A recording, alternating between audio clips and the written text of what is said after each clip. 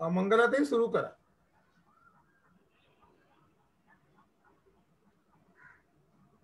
नमस्कार. सगळ्यांचं स्वागत आणि सगळ्यात प्रथम स्मिताताईंचं स्वागत. की त्या वेळात वेळ काढून आपल्या इथे येतात अतिशय छान प्रकारे आणि छान पद्धतीने आपल्याला निरनिळ्या प्रकारची माहिती देत आहेत अन्नब्रह्म या मालिकेतला हा आपला चौथा विषय आहे. आणि आजचा विषय नेमका असा आहे की भूक आणि तृप्ती दोन्ही एकत्रच आहे. तर पहिला विषय जो आपण त्यांनी मांडला आपल्या पुढे तेव्हाच खरी भूक एवढी वाढली प्रचंड वाढली की चौथा प्रोग्राम कार्यक्रम आता वेळ आली आहे पण तरी सुद्धा ती काही तृप्ती काही होत नाही असं एकूण दिसतंय. तर आणि कसं त्या आजच्या पोस्टरमध्ये बघा तुम्ही बघितलं असेल की त्या माणसाच्या हातात वस्तू आहेत खाण्याच्या वस्तू आहेत पण मनामध्ये आणखीन काहीतरी आहेच आहे. ते काही संपत नाहीये. तसंच इथे पण झालंय. आणखीनही आम्हाला खूप तुम्हाला ऐकायची आणि तुमच्याकडून माहिती मिळवण्याची खूप खूप इच्छा आहे. बघूया कसं आता पुढे होत आहे तर आजचा आपला हा चौथा कार्यक्रम आणि त्याची रूपरेषा मी सांगते की आता याच्यापुढे ओळख म्हणजे एक कार्यक्रमाची शिरस्ता म्हणून असं म्हणूया. आणि जे नवीन लोक आज जॉईन होणार आहेत त्यांच्यासाठी डॉक्टर स्मिता लेले यांची ओळख करून देतील उदय पिंगळे माझे सहकारी. आणि त्याच्यानंतर या स्मिताताईंचा प्रोग्राम म्हणजे त्या माहिती आपल्याला देतील प्रेझेंटेशनद्वारे आणि अंजली पोद्दार ज्या आहेत त्या प्रश्नोत्तर घेणार आहेत. आणि अशा प्रकारे आपण आजची आज आपण सांगता करणार आहोत. तर मी आता उदय पिंगळे यांना विनंती करते की त्यांनी थोडक्यात स्मिताताईंचा परिचय करून द्यावा. नमस्कार. मी उदय पिंगळे.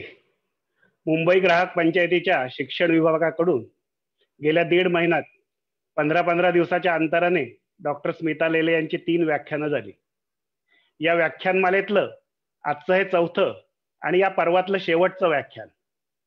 आपण सर्वजण ज्या पद्धतीने यास प्रतिसाद देतात त्यावरून त्या लोकप्रिय तर आहेतच. पण त्यांचे विषय हे सर्वसामान्य लोकांच्या अत्यंत जिव्हाळ्याचे आहेत.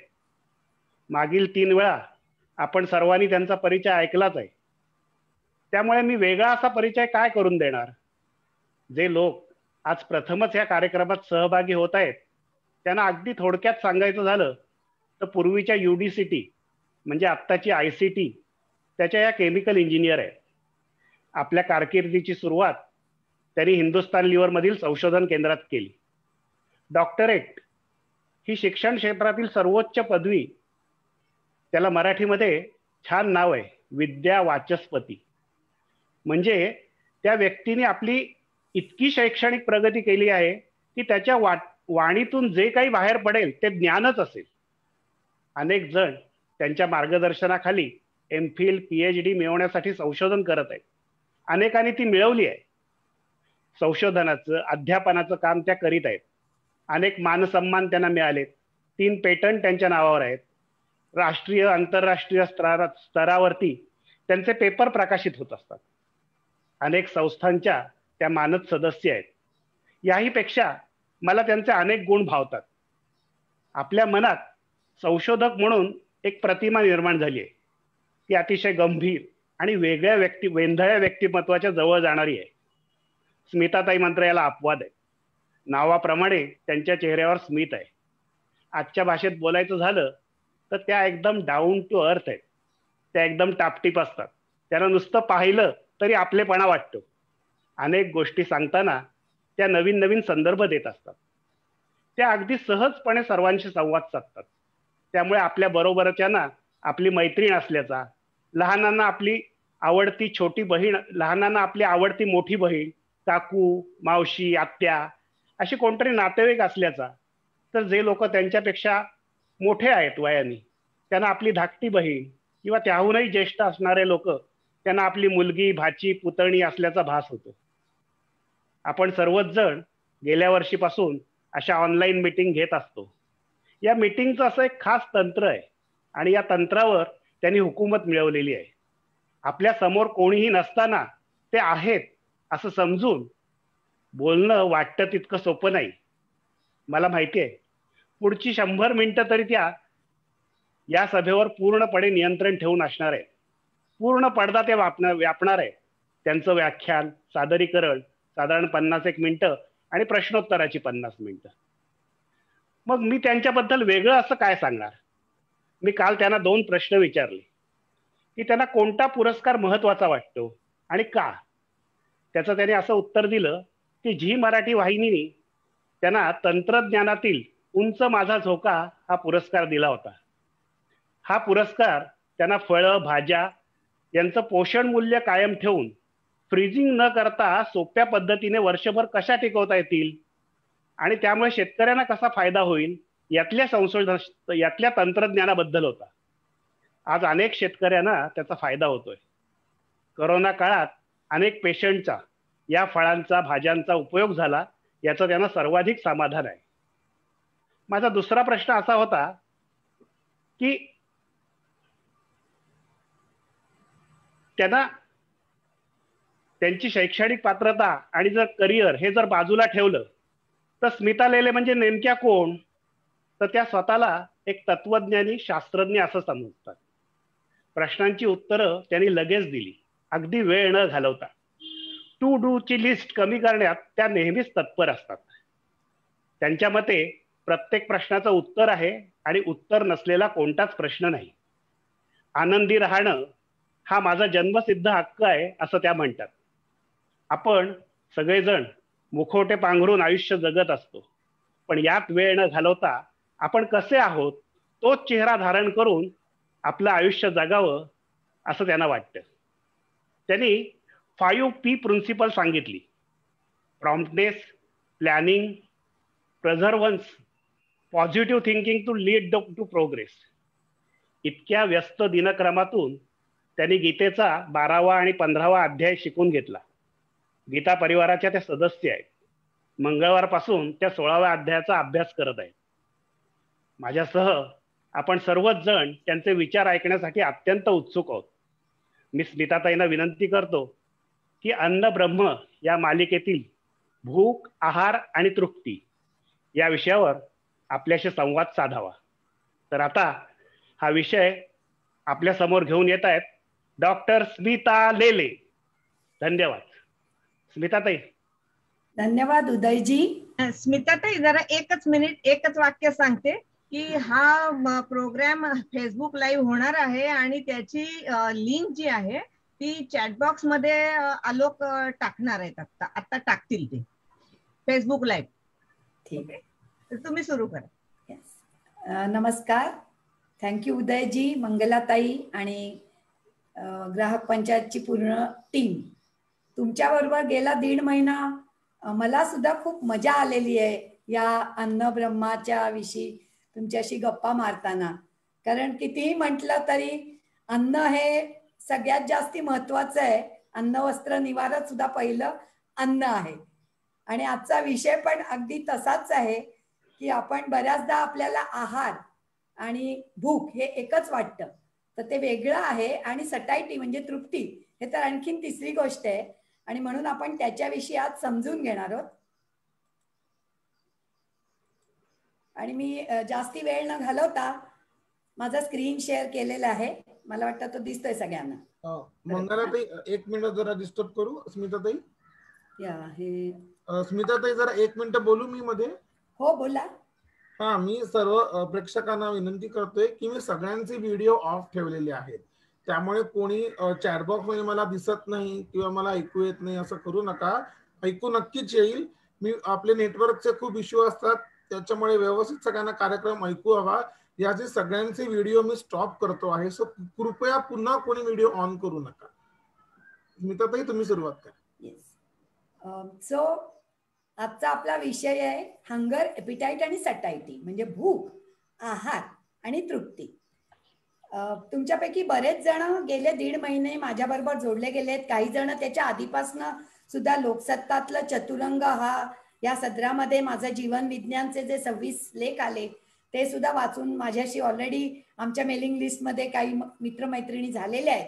पण तरी सुद्धा एक कम्प्लिशनसाठी आणि काही जण कदाचित नवीन आले असतील म्हणून. आणि तसंच कोणत्याही गोष्टीचा अभ्यास हा परत परत करायला लागतो. आता गणपती उत्सव पण लवकर येतोय. आपण सुख करता दुःख करता म्हणतो आपल्याला सगळ्यांना माहिती असतं. पण ते परत परत म्हणण्याचा एक पुनप्रत्ययाचा आनंद सुद्धा असतो.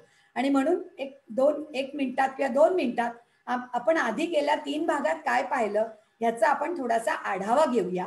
तर पहिलं माझं जे भाषण होतं त्याचं नाव आहे आहार आणि विहार. आणि ह्या पद्धतीची भाषणं मी खूप ठिकाणी दिलेली आहे. आणि माझ्या युट्यूब चॅनेलवरती सुद्धा पार्ले कट्टाचा माझा जो इंटरव्ह्यू आहे ते जवळजवळ तशाच पद्धतीचं आहे.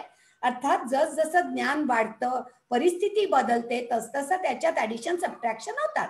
उदाहरणार्थ आता करोनाचा काळ आहे तर साहजिकच आहार म्हटलं तर प्रतिकार शक्ती आणि प्रतिकार शक्तीवर्धक आहार कोणता? हा प्रश्न हा अर्थातच घेतला पाहिजे. जो कदाचित दोन तीन वर्षापूर्वी इतका प्रत्येक वेळी महत्त्वाचा होता असं नाही. सो त्याच्यामध्ये आपण पाहिलंय की आजारी पडण्याची तीन महत्वाची कारण आहेत की आहार चुकीचा हे तर आहेच पण जीवनशैली चुकीची म्हणजे व्यायाम नाही. कारण एक्झर्शन आणि एक्सरसाइज याच्यात फरक आहे. त्यामुळे एक ठराविक तीस मिनिटाचा ते साठ मिनिटाचा व्यायाम असणं आवश्यक आहे. आणि मानसिकता म्हणजे योग्य विचार दुसऱ्या पुढच्या स्लाइडवर पण परत त्याच्याविषयी जरा मी एक तीस सेकंद बोलणार आहे. आणि अर्थात आपल्याला सगळ्यांना माहिती आहे प्रत्येक ठिकाणी काही चर्चा झाली आरोग्याची आजारपणाची तर फळं खा भाज्या खा हेच सगळे जण सांगतात म्हणजे चौरस आहार आणि कलर्ड फ्रुट्स ज्याच्यात अँटीऑक्सिडंट्स आहेत म्हणजे पाच फळांनी ओटिका आपण भरतो किंवा मल्टिपल फ्रुट्स विमानात सुद्धा एकच वरती काळं द्राक्ष ठेवतात हे आपण पाहिलंय. आणि जे सगळ्या स्ट्रेसफुल गोष्टी आहेत आणि चुकीचं खाणं आहे त्यांनी नेहमी फ्री रॅडिकल्स होतात. आणि म्हणून त्याच्यामुळे आपल्याला वार्धक्य लवकर येतं आजार पण लवकर येतं. आणि म्हणून अँटीऑक्सिडंट न्यूट्रास्युटिकल ही नवीन टर्म आहे म्हणजे न्यूट्रिशन आणि फार्मास्युटिकल यांचे ही जोड आहे. म्हणजे औषध न घेता फूड हेच जर मी औषधासारखं चांगलं अधिक उपयोगी असेल नुसतंच पोषण नव्हे त्याहून अधिक चांगलं तर ते न्यूट्रास्युटिकल आणि म्हणून प्रोबायोटिक आणि प्रीबायोटिक म्हणजे आपल्या पोटात जे लाखो विशेषतः मोठ्या आतड्यात लाखो मित्र जंतू आहेत ते असलेले ते लाईव्ह असलेले पदार्थ जसं आपलं रोजचं घरी लावलेलं दही किंवा ताक. म्हणजे प्रोबायोटिक आणि त्यांना आवडणारे पदार्थ म्हणजे त्यांचं फूड म्हणजे प्रीबायोटिक याविषयी आपण थोडीशी माहिती करून घेतली. दुसरं लेक्चर होतं मगाशी उल्लेख केल्याप्रमाणे खास करून प्रतिकार शक्तीवर्धक फळा अन्नाविषयी म्हणजे आधी प्रतिकार शक्ती म्हणजे काय? कारण ती इतक्या सहज मोजता येत नाही आपल्याला ब्लड प्रेशर मोजता येतं साखर मोजता येते रक्तातली पण पटकन काहीतरी एक थर्मामीटर घातला आणि एक्स प्रतिकार शक्ती असं मोजता येत नाही. त्याच्या अनेक कॉम्प्लेक्स गोष्टी आहेत आणि इनडायरेक्टली जो माणूस चिडचिडायासारखा आजारी पडतोय त्याची प्रतिकार शक्ती कमी आहे असं म्हणायला लागतं. आणि जो दणकट आहे काही होत नाही. त्याची चांगली आहे असं आपण म्हणतो. आणि त्यामुळे त्याविषयी आपण माहिती केली आणि त्या अन्नाविषयी पण माहिती केली. तिसरा आपला विषय होता प्रोसेसिंग आणि प्रोसेसिंग म्हणजे कुकिंग स्वयंपाकघर हे सुद्धा प्रोसेसिंग आहे. आणि मूळ स्वाध्याय स्वयंपाक म्हणजे ज्याने त्यांनी आपापलं पिकून आपल्या पुरतं खाल्लं तर आदर्श असं आपल्या पूर्वजांनी म्हटलंय. पण आपण ब्रॉडली म्हणू की होम फूड आणि हॉटेल फूड आजही थोडंसं आपण त्याविषयी बघणार आहे. आणि त्याच्यात महत्वाचं असं आहे की पुष्कळांना वाटतं की सगळं नैसर्गिक म्हणजे चांगलं. निसर्गात विषारी पदार्थ असतात. किंबहुना सगळ्याच खाद्यपदार्थात अति कमी प्रमाणात का होईना सायनाइड सारखे विषारी पदार्थ असतात. आणि किंचित कुकिंग ओव्हर कुकिंग करू नये पण ते अत्यावश्यक आहे. त्यांनी डायजेस्टिबिलिटी सुधारते. प्रोटीनशी particularly bio availability bio accessibility आणि even reduction of anti nutritionals वगैरे वगैरे मोड आलेली कडधान्य तर हे सुद्धा आपल्याला माहिती असलं तरी आपण एक एकत्रित त्याच्याकडे पाहिलं. आणि बॅलन्स सगळ्यात महत्वाचं आहे जे चार खांब आहेत खाण्यापिण्याचे प्रोटीन कार्बोहायड्रेट ऑइल फॅट आणि फायबर आणि इतर सगळं म्हणजे मायक्रोन्युट्रियन ह्याचा बॅलन्स असला पाहिजे. म्हणजे थाळीमध्ये जेवायला सगळ्या रंगाचं अन्न घेतलंय डावीकडचं उजवीकडचं मध्यावरचं स्टेपल फूड तर आपल्याला माहिती असायची गरज नाही की याच्यात झिंक कशात आहे आणि मॅग्नेशियम कशात आहे आणि हे कशात आहे आणि ते कशात आहे. सगळं जर आपण खाल्लं आणि सीझनल सगळ्या गोष्टी खाल्ल्या योग्य प्रकारे आपण राहिलो तर ते सगळं आपल्याला मिळतच असतं. कारण आपल्यासाठी ट्रॉपिकल कंट्री असल्यामुळे फ्रेश फ्रूट फ्रेश व्हेजिटेबल हामुळे आपला प्रॉब्लेमच नाहीये. आपण कुठेतरी ध्रुव प्रदेशात नाही तर रशियात नाही तर खूप थंड याच्यात राहत असतो. तर सारखं प्रोसेस फूड घेताना बाबा लेबलमध्ये बघा याच्यात काय काय आहे. आपल्याला तो विचार करायची गरज नाहीये चौरसार सर्वांगीण घ्या. पण पेस्टिसाइड हा एक मोठा प्रॉब्लेम असू शकतो. अवाचे सवा कच्च खाऊ नका आणि जे सिनियर सिटीजन्स आहेत माझ्या सकट त्यांच्यासाठी सोल्युबल फायबर जास्ती खा इन्सॉल्युबल खाऊ नका. फळं खाताना शक्यतो चोथा सगळा खाऊ नका. नंतर सफरचंदाचं साल खाऊ नका द्राक्षस्वा तोंडातल्या तोंडात करून तुमकू टाकलं साल तर चालेल कारण त्याच्यात जास्ती पेस्टिसाइड असतं. अर्थात ऑर्गॅनिक जर खरेदी करू शकलो तर फारच छान आहे. सो हे बॅलन्स करणं महत्वाचं आहे. एक छोटीशी स्लाइड पुन्हा मी वाय वी फॉल सिक वर केलेली आहे. Wrong eating wrong breathing wrong thinking आणि what is thinking wrong thinking so आपलं मन हे एखाद्या नदीसारखं आहे. प्रत्येक नदी गंगा सुद्धा उगमस्थानी नेहमी शुद्ध असते. म्हणून आपण मुलं फुलं फुलं देवाघरची फुलं म्हणतो. सो फ्लो ऑफ थॉट म्हणजे आपलं माइंड आहे. आणि ह्या जगात जगताना आपण ते माइंड प्रदूषित करतो. करणं भागही आहे आपल्याला. पण त्याचा बॅलन्स राहायला पाहिजे. म्हणजे जसं आपलं शरीर रोज घाण होतं म्हणून आपण आंघोळ करतो ना तसंच आपल्या मनाला सुद्धा शुद्धी करण्यासाठी जे काय तुम्हाला भावत असेल. इवन व्यायाम करून सुद्धा टॉक्सिन बंद होतात आणि मन मन फ्रेश होतं. आणि विशेषतः आपला आजचा जो विषय आहे ज्याच्यात सटायटी विषय पण आहे त्याच्यात मनाला सुद्धा खूप महत्त्व आहे. आणि त्यामुळे क्वालिटी ऑफ थॉट्स डिसाईड करतं आणि आपण पाहिलंय की ह्या सगळ्या थॉट प्रोसेसनी आपलं शरीर हे एक रसायन कारखाना आहे. प्रचंड पद्धतीच्या रसायनाचा. आणि मोठ्या मोठ्या रसायनाची आपल्याला माहिती आहे. आज आपण त्यातल्या हार्मोन्स म्हणजे अतिशय मायनर लेवलला म्हणजे नॅनो पण नाही काही तर त्यातले पिको लेवलला पण असतील. त्यांची आपण आज थोडीशी माहिती करून घेणार आहे. कारण ते सगळ्यात महत्वाचं आणि सगळ्यात सटलर आहे. आणि त्यामुळे जेव्हा आपण निगेटिव्ह थिंकिंग करतो एखाद्याच्या विषयी मला मत्सर आहे अशी कल्पना करूया. म्हणतात स्त्रियांना जास्ती मत्सर असतो माहीत नाही. पण इन जनरल एखाद्या विषयी मला खूप मत्सर वाटला. काहीही असेल कारण रूप असेल पैसा असेल पोझिशन असेल. तर त्यामुळे माझ्या मत्सरामुळे त्या व्यक्तीला फायदा होतो नुकसान होतं माहीत नाही. पण मला नक्की आरोग्याच्या दृष्टीने नुकसान होतं. कारण ह्या विचाराने जे रसायन माझ्या शरीरात तयार होतं त्याचा परिणाम माझ्या शरीरावर तो आणि हे गुड रसायन नाहीये. हे बॅड रसायन आहे. आता एक आजचा यक्ष प्रश्न. यातले पहिले काही जे एक्स्ट्रॅक्ट्स आहेत ते चक्क मी माझ्या मराठी भाषणातनं घेतलेत म्हणून तुम्हाला ते लांबल्याचं वाक्य दिसतील. हा एक प्रश्न आपण सगळ्यांनी स्वतःला विचारूया की तुम्ही खाण्यासाठी जगता का जगण्यासाठी खाता? म्हणजे बरेच जण लोक हसतील म्हणून उत्तर देतात की मी जगण्यासाठी खातो. मुळीच नाही. आपण सगळे खाण्यासाठी जगतो. जर वैज्ञानिकांनी एक छान गोळी तयार केली जी सर्व गुण संपन्न आहे सगळी विटॅमिन सगळं सगळं सगळं लागणार तुम्हाला त्याच्यात एकदम परफेक्ट मिळणार आहे. आणि ते कस्टमाइज पण करून द्यायला मी तयार आहे. ती गोळी घ्यायची. दिवसभर काही खायचं नाही. तुम्ही खुश राहणार आहे का? नाही राहणार आहे. आणि त्याच्यामुळे जगण्यासाठी खायची जरी आवश्यकता असली तरी खाणं हे खूप एक आपलं आनंददायक कृत्य आहे. आणि पर्टिक्युलरली तर आपल्या देशामध्ये तर मला तर असं वाटतं की आपण खूप महत्त्व देतो. शेतीप्रधान देश आहे त्यामुळे ऐंशी टक्केहून जास्ती लोक त्याच्याशी निगडीत आहेत. फक्त वीस टक्केच सर्व्हिस इंडस्ट्रीशी निगडीत आहे वेरज अमेरिकेत हा रिव्हर्स आहे रेशो कारण एक एक शेतकरी शेकडो एकरमध्ये हेलिकॉप्टरमध्ये हेलिकॉप्टरमध्ये जाऊन काहीतरी फवारणी करतो वगैरे असं करतो. त्यामुळे ऐंशी टक्के लोक इतर गोष्टी करण्यात दंग असतात. पण आपल्याकडे शेती करणं प्रोसेसिंग करणं घरामध्ये स्वयंपाक करणं हॉटेल कोणी आपल्याकडे येणार असेल काही पार्टी अगदी करोनात पंचवीस लोकांना बोलवून जरी लग्न असेल तरी पहिली चर्चा काय असते? मेनू काय ठेवायचा? घरी येणार असेल तर खायला काय करायचं? बाहेरून काय आणायचं का? स्वीट काय? ही पहिली चर्चा असते की नाही बघा. आणि आपल्याला करायला आवडतं विशेषतः स्त्रियांना बऱ्याचशा मला सुद्धा करायला आवडतं खायला आवडतं आणि खाऊ घालायला सुद्धा आवडतं. आणि त्याच्यामुळे खरं म्हणजे आपण सगळेजण हे जगण्यासाठी खातो बरोबर आहे पण आपण खाण्यासाठी सुद्धा जगत असतो. पण दुर्दैवाने जर आपल्याला एखादा विकार झाला विशेषतः सायकोसोमॅटिक आहेत म्हणजे ते इन्फेक्शस डिसीज नाही आहेत तेवढ्या प्रमाणात ते लहान मुलात दिसणार नाही आहेत. पण जर डायबेटीस झाला तर तुम्हाला ते गोड खायचं बंद आहे. हृदयविकार किंवा अजून काय असेल रक्तदाब रक्तदाबानी सॉल्ट बंद आहे हृदयविकारांनी फॅट बंद आहे. म्हणजे अळणी खायचंय तळलेलं चमचमीत नाही खायचंय गोडदोड नाही खायचंय म्हणजे सारखी इवन मधुमेह झाला तर टांगती तलवार चुकून जास्ती खाणं गेलं तर काय प्रॉब्लेम आहे? हार्ट अटॅक आलेला आहे एकदा किंवा वाट कोलेस्ट्रॉल वाढलंय तर ते खावासा वाटतंय बटाटे वडा. सगळेजण खातायत पण मी खाऊ की नको? त्यामुळे न जावेत त्याच्या वंशा अशी आपण काळजी घेतली पाहिजे. आणि जीवन इवन साधी दाढ म्हणजे हा माझा स्वतःचा अनुभव आहे. अक्कल दाढ आली पंचवीसाव्या वर्षी तो आठवडा माझा एवढा निरस झाला कारण मला शेंगदाणे खायला खूप आवडतात आणि मला ते खाता येत नव्हते. एक गोष्ट पूर्ण काही मी उपाशी नव्हते. तेव्हा आपल्याला हेल्दीच राहिलं पाहिजे आणि हे खाऊन आपल्याला तृप्ती मिळाली पाहिजे. सो अतृप्ती का मिळू शकते? तर अर्थातच जे अंडर नरिश्ड आणि अंडर फेड आहेत म्हणजे गरिबीमुळे ज्यांना पुरेसं अन्न मिळत नाही आणि विशेषतः करोनाच्या काळात मला तर वाटतं ती सगळ्यात जास्ती चांगली समाजसेवा होऊ शकेल जर आपण शिधा दिला आपल्या आजूबाजूच्या ज्यांचा जॉब गेलाय. कारण पैसे दिले तर ते कशाला वापर होईल हे आपण सांगू शकत नाही. सो ज्याला पुरेसं अन्न नाहीये त्याला तृप्ती असणारच नाहीये. पण मी त्यांच्याबद्दल त्या दुर्दैवी लोकांबद्दल नाही मी बोलत आहे.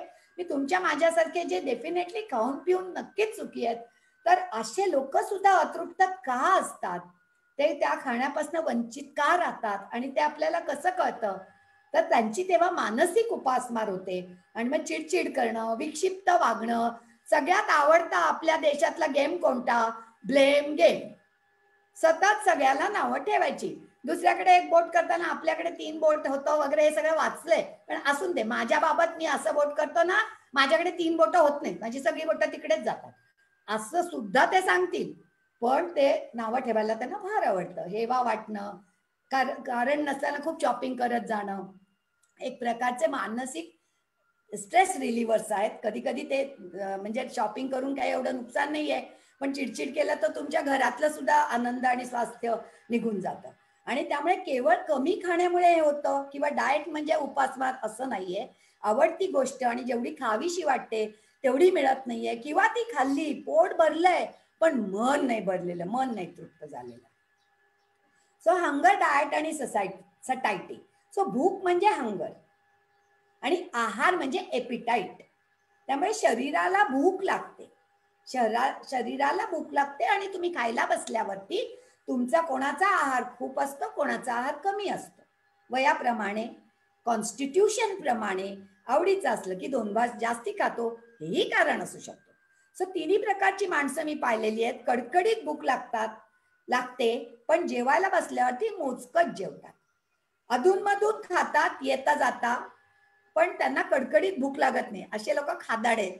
मी त्यातलीच आहे. आणि खाण्याचं पूर्ण समाधान पटकन मिळतं मन तृप्त होतं कमी खाऊन देत मध्यम खाऊन देत जास्ती खाऊन देत.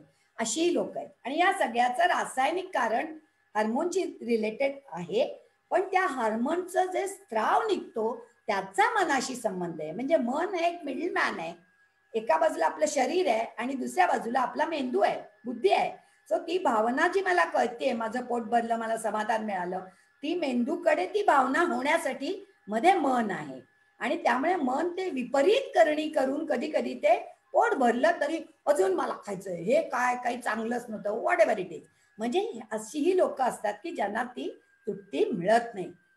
आता भूक लागते म्हणजे नेमकं काय? सायंटिफिकली ते मेंदूच्या मागे जो एक हायपोथेलमस म्हणून जो काही भाग आहे छोटा मेंदूचा भाग आहे तिथे खाण्याची भूक आणि पोट भरल्याची भावना या दोन्ही गोष्टी तिथे करतात म्हणजे त्याचं ते समजण्याचं केंद्र तिथे. आणि अचानक काही कारणामुळे कधी कधी भूक पण मरून जाते. अचानक काहीतरी एक्साइटमेंट असेल तरी पण किंवा अचानक काहीतरी दुःखद घटना. तेव्हा नेहमी दुःखद घटनेनेच होते असं नाही. काहीतरी खूप आनंदाची कळली तरी भूक मरून जाते आणि आपण त्यांनी पुढे काय करायचं? असे सगळे प्लॅनिंग की बाबा एक कोटीचं मला लागलं लॉटरी तर आपण आर्शवायू होतं म्हणतात ना. तर अचानक भूक जाऊ पण शकते. ही सगळी केंद्र त्या ठिकाणी त्या छोट्या मेंदूत आहेत. आणि त्याचं संचलन करणं नियंत्रण करणं आणि योग्य वेळी आपण खावं. म्हणजे ज्याला बायोलॉजिकल क्लॉक म्हणतात ते केंद्र सुद्धा तिथे आहे. आणि पोट भरलं हेही तिथे कळतं. कुठेतरी कधीतरी मी म्हटलंही असेल की साधारणपणे बारा मिनिटं लागतात. कारण बायोलॉजिकल गोष्टी स्लोएस्ट आहेत. आपण जर एनर्जी पाहिलं फिजिकल शॉर्ट आणि कमी एनर्जी पण फास्ट केमिकल मध्यम एनर्जी थोडी जास्ती वेळ पण बायोलॉजिकलमध्ये तेवढे एनर्जी चेंजेस नाहीयेत पण खूप थोडासा जास्ती वेळ लागतो. म्हणजे पोट भरलं ही भावना कळायला दहा ते बारा मिनिटं एक लॅग असतो. आणि म्हणून जे बकाबक खातात त्यांना नंतर पोटाला तडस लागते. कारण तो पोट भरल्याचा तो मेसेज येईपर्यंत त्यांचा अजून एक दोन पोळ्या आणि चार वडे आणि एक वाटी काहीतरी आवडीचं पोटामध्ये गेलेलं असतं. असो. आणि त्याच्यामुळे सावकाश खाणं हा सुद्धा एक उपाय आहे ज्यांना वजन आपलं कंट्रोलमध्ये ठेवायचं. आणि त्यामुळे पोटावर जेव्हा विशिष्ट दडपण येतं पोट म्हणजे पोटाची पिशवी जठर त्यावेळेला एक आपल्याला भावना होते की पोट भरलं. माझ्या एका भाषणात मी सांगितलं की आदर्श आहार किती एका वेळेला? तर वनथड वनथड वनथड म्हणजे जी काय पोटाच्या पिशवीचा तुमचा आकार आहे तोही लहानसर ज्याची छबी आहे त्याचा लहान असणार आहे जो उंच जास्ती धडधाकट आहे त्याचा मोठा असणार आहे. उदाहरणार्थ अमेरिकेचा ऍव्हरेज शर्टाचा साईज हा एक्सेल आहे आणि महाराष्ट्राचा ऍव्हरेज साईज हा एम आहे मीडियम आहे. सो साहजिकच ती पोटाची पिशवी सुद्धा त्या प्रमाणात लहान मोठी आहे. सो जी काय आपली एक लिटरची समजा पिशवी आहे किंवा दोन लिटरची आपण एक आकडा घेऊ तर त्याची वन थर्ड खाण्याने भरली पाहिजे वन थर्ड पाण्याने भरली पाहिजे. तो पाणी प्यायलाच जाता असं नाही. पोट सुद्धा पाणी तयार करताय स्राव आणि परत ऍब्सॉर्ब करताय. आणि वन थर्ड ही हवेसाठी असली पाहिजे. आणि हे काय आहे? लगेचच आपण नंतर पाहणारच आहोत की योग्य पचण्यासाठी ते आवश्यक आहे. आणि वय वाढतं तशी पोटाच्या आत सुद्धा चरबी होते. आणि पचन मंदावतो याचं एक कारण ती चरबी या जठराच्या आकुंचन प्रसरणाला अडथळा आणते हे सुद्धा आहे.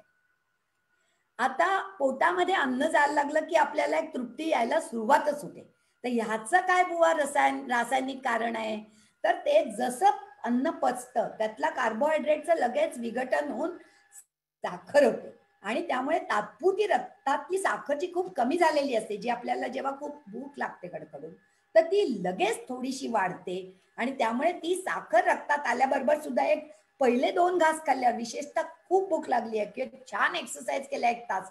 आणि आता जायचंय नाश्त्याला तो पहिला घास खाल्ल्यावरचा आनंद दिवसभरात पुन्हा कधी मिळत नाही. कारण तेव्हा body is starve for sugar म्हणजे डायबेटिकचं मी वर्णन नाही करत आहे हा. हे नॉर्मल माणसाचा तात्पुरता ड्रॉप आहे तर ते सुद्धा आपल्याला पचायला लागलं म्हणून कळतं. सो हे नेटवरनं मी काढलेलं आहे की आपलं एपिटाईट हंगर आणि त्याच्याशी हार्मोन्स त्याच्या फार डिटेलमध्ये आपण जाणार नाहीये.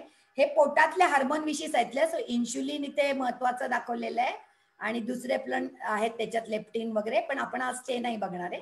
दुसरं थोडंसं बघणार आहे की मेंदूशी कारण मानसिक भागाशी आपण जास्ती बघणार आहे. पोटात नेमकं काय होतंय त्याच्याशी आपण कमी बघणार आहे. पण हा प्रेझेंटेशन तुम्ही नंतर सुद्धा बघू शकता. आणि आपण आता पुढची फिगर बघणार आहे. ही जी आपलं डायजेस्टिव्ह सिस्टीम दिली आहे त्याच्याबद्दल.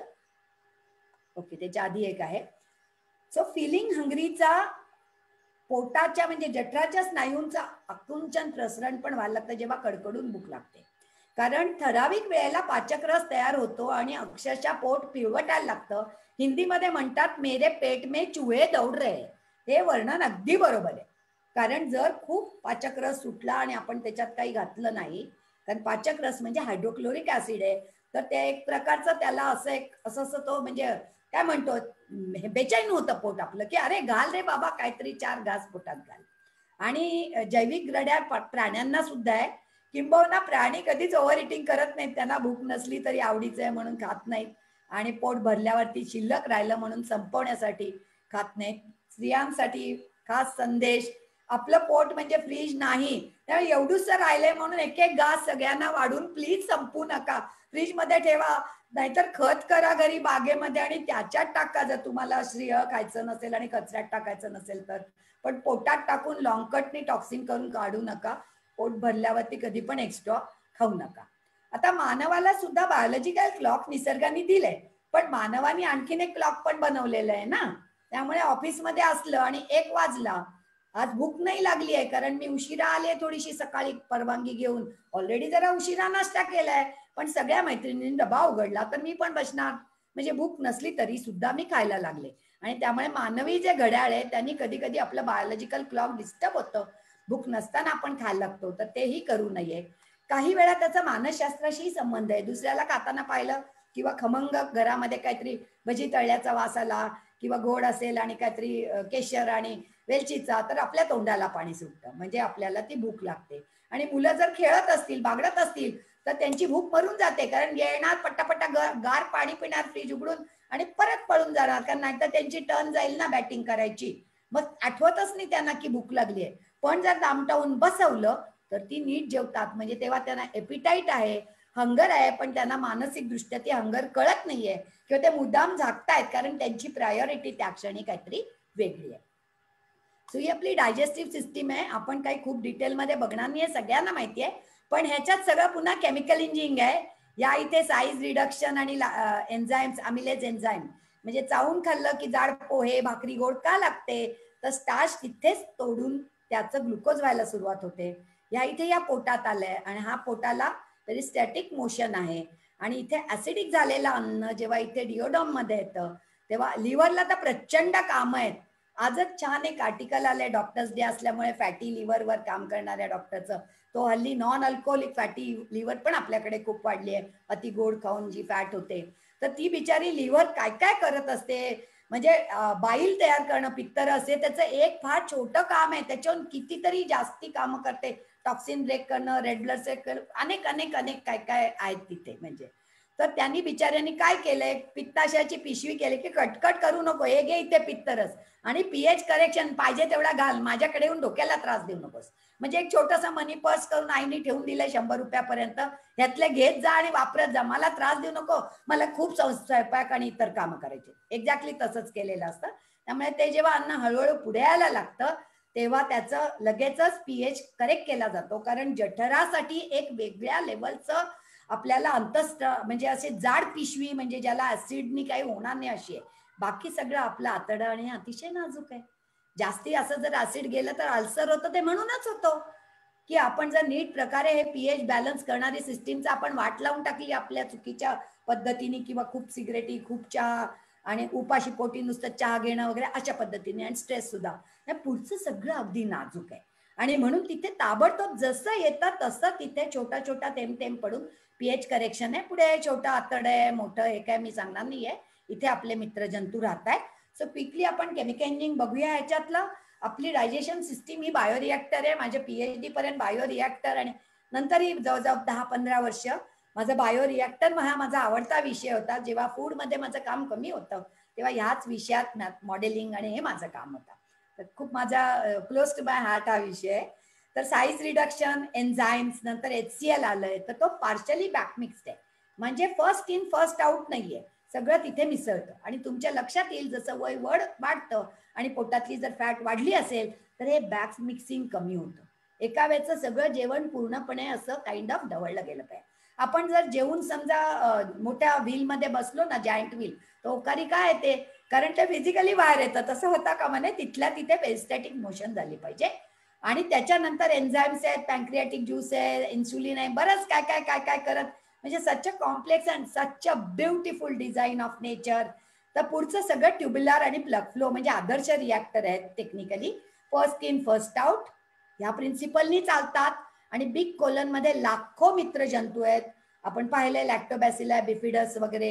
हे त्यातले काही महत्त्वाचे आहेत. आणि आपण पुढे शुगर आणि आर्टिफिशियल स्वीटनर पाहताना सुद्धा थोडंसं याच्याविषयी बोलणार आहे. प्रोबायोटिकमध्ये आपण हे ऍड करत असतो आपल्या खाण्यामध्ये.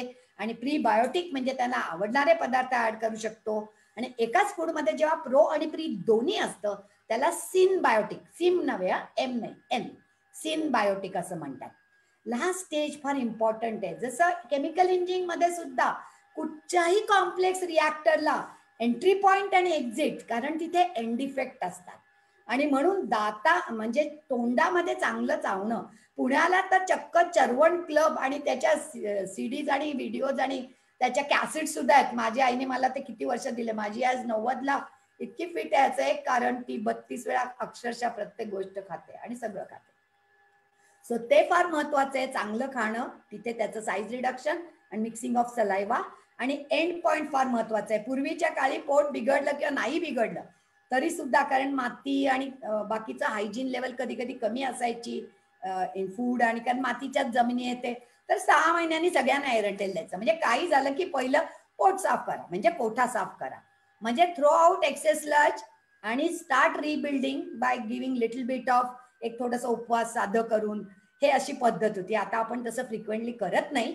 पण बेसिकली ते जे मित्र जंतू आहेत त्यांचं आरोग्य सांभाळणं त्यांना आवडती गोष्ट पाठवणं महत्वाचं आहे. आणि म्हणून खूप जर आपण इनसॉल्युबल फायबर म्हणजे खूप कच्चं खाल्लं आणि विशेषतः वय जास्ती असताना तर त्याचा इथे गॅस होतो आणि त्याचा आपल्याला त्रास होऊ शकतो. विशेषतः वय जेव्हा आपलं वाढतं तेव्हा.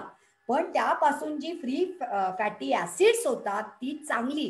कारण त्याच्यामुळे रोगजंतूंची वाढ कोलनमध्ये होत नाही. आणि बरंच कोलनच्या कॅन्सरवर भरपूर रिसर्च आहे. कारण या प्रोबायोटिक प्रीबायोटिकनी मेनली तुमचं कोलनला प्रोटेक्शन मिळतं.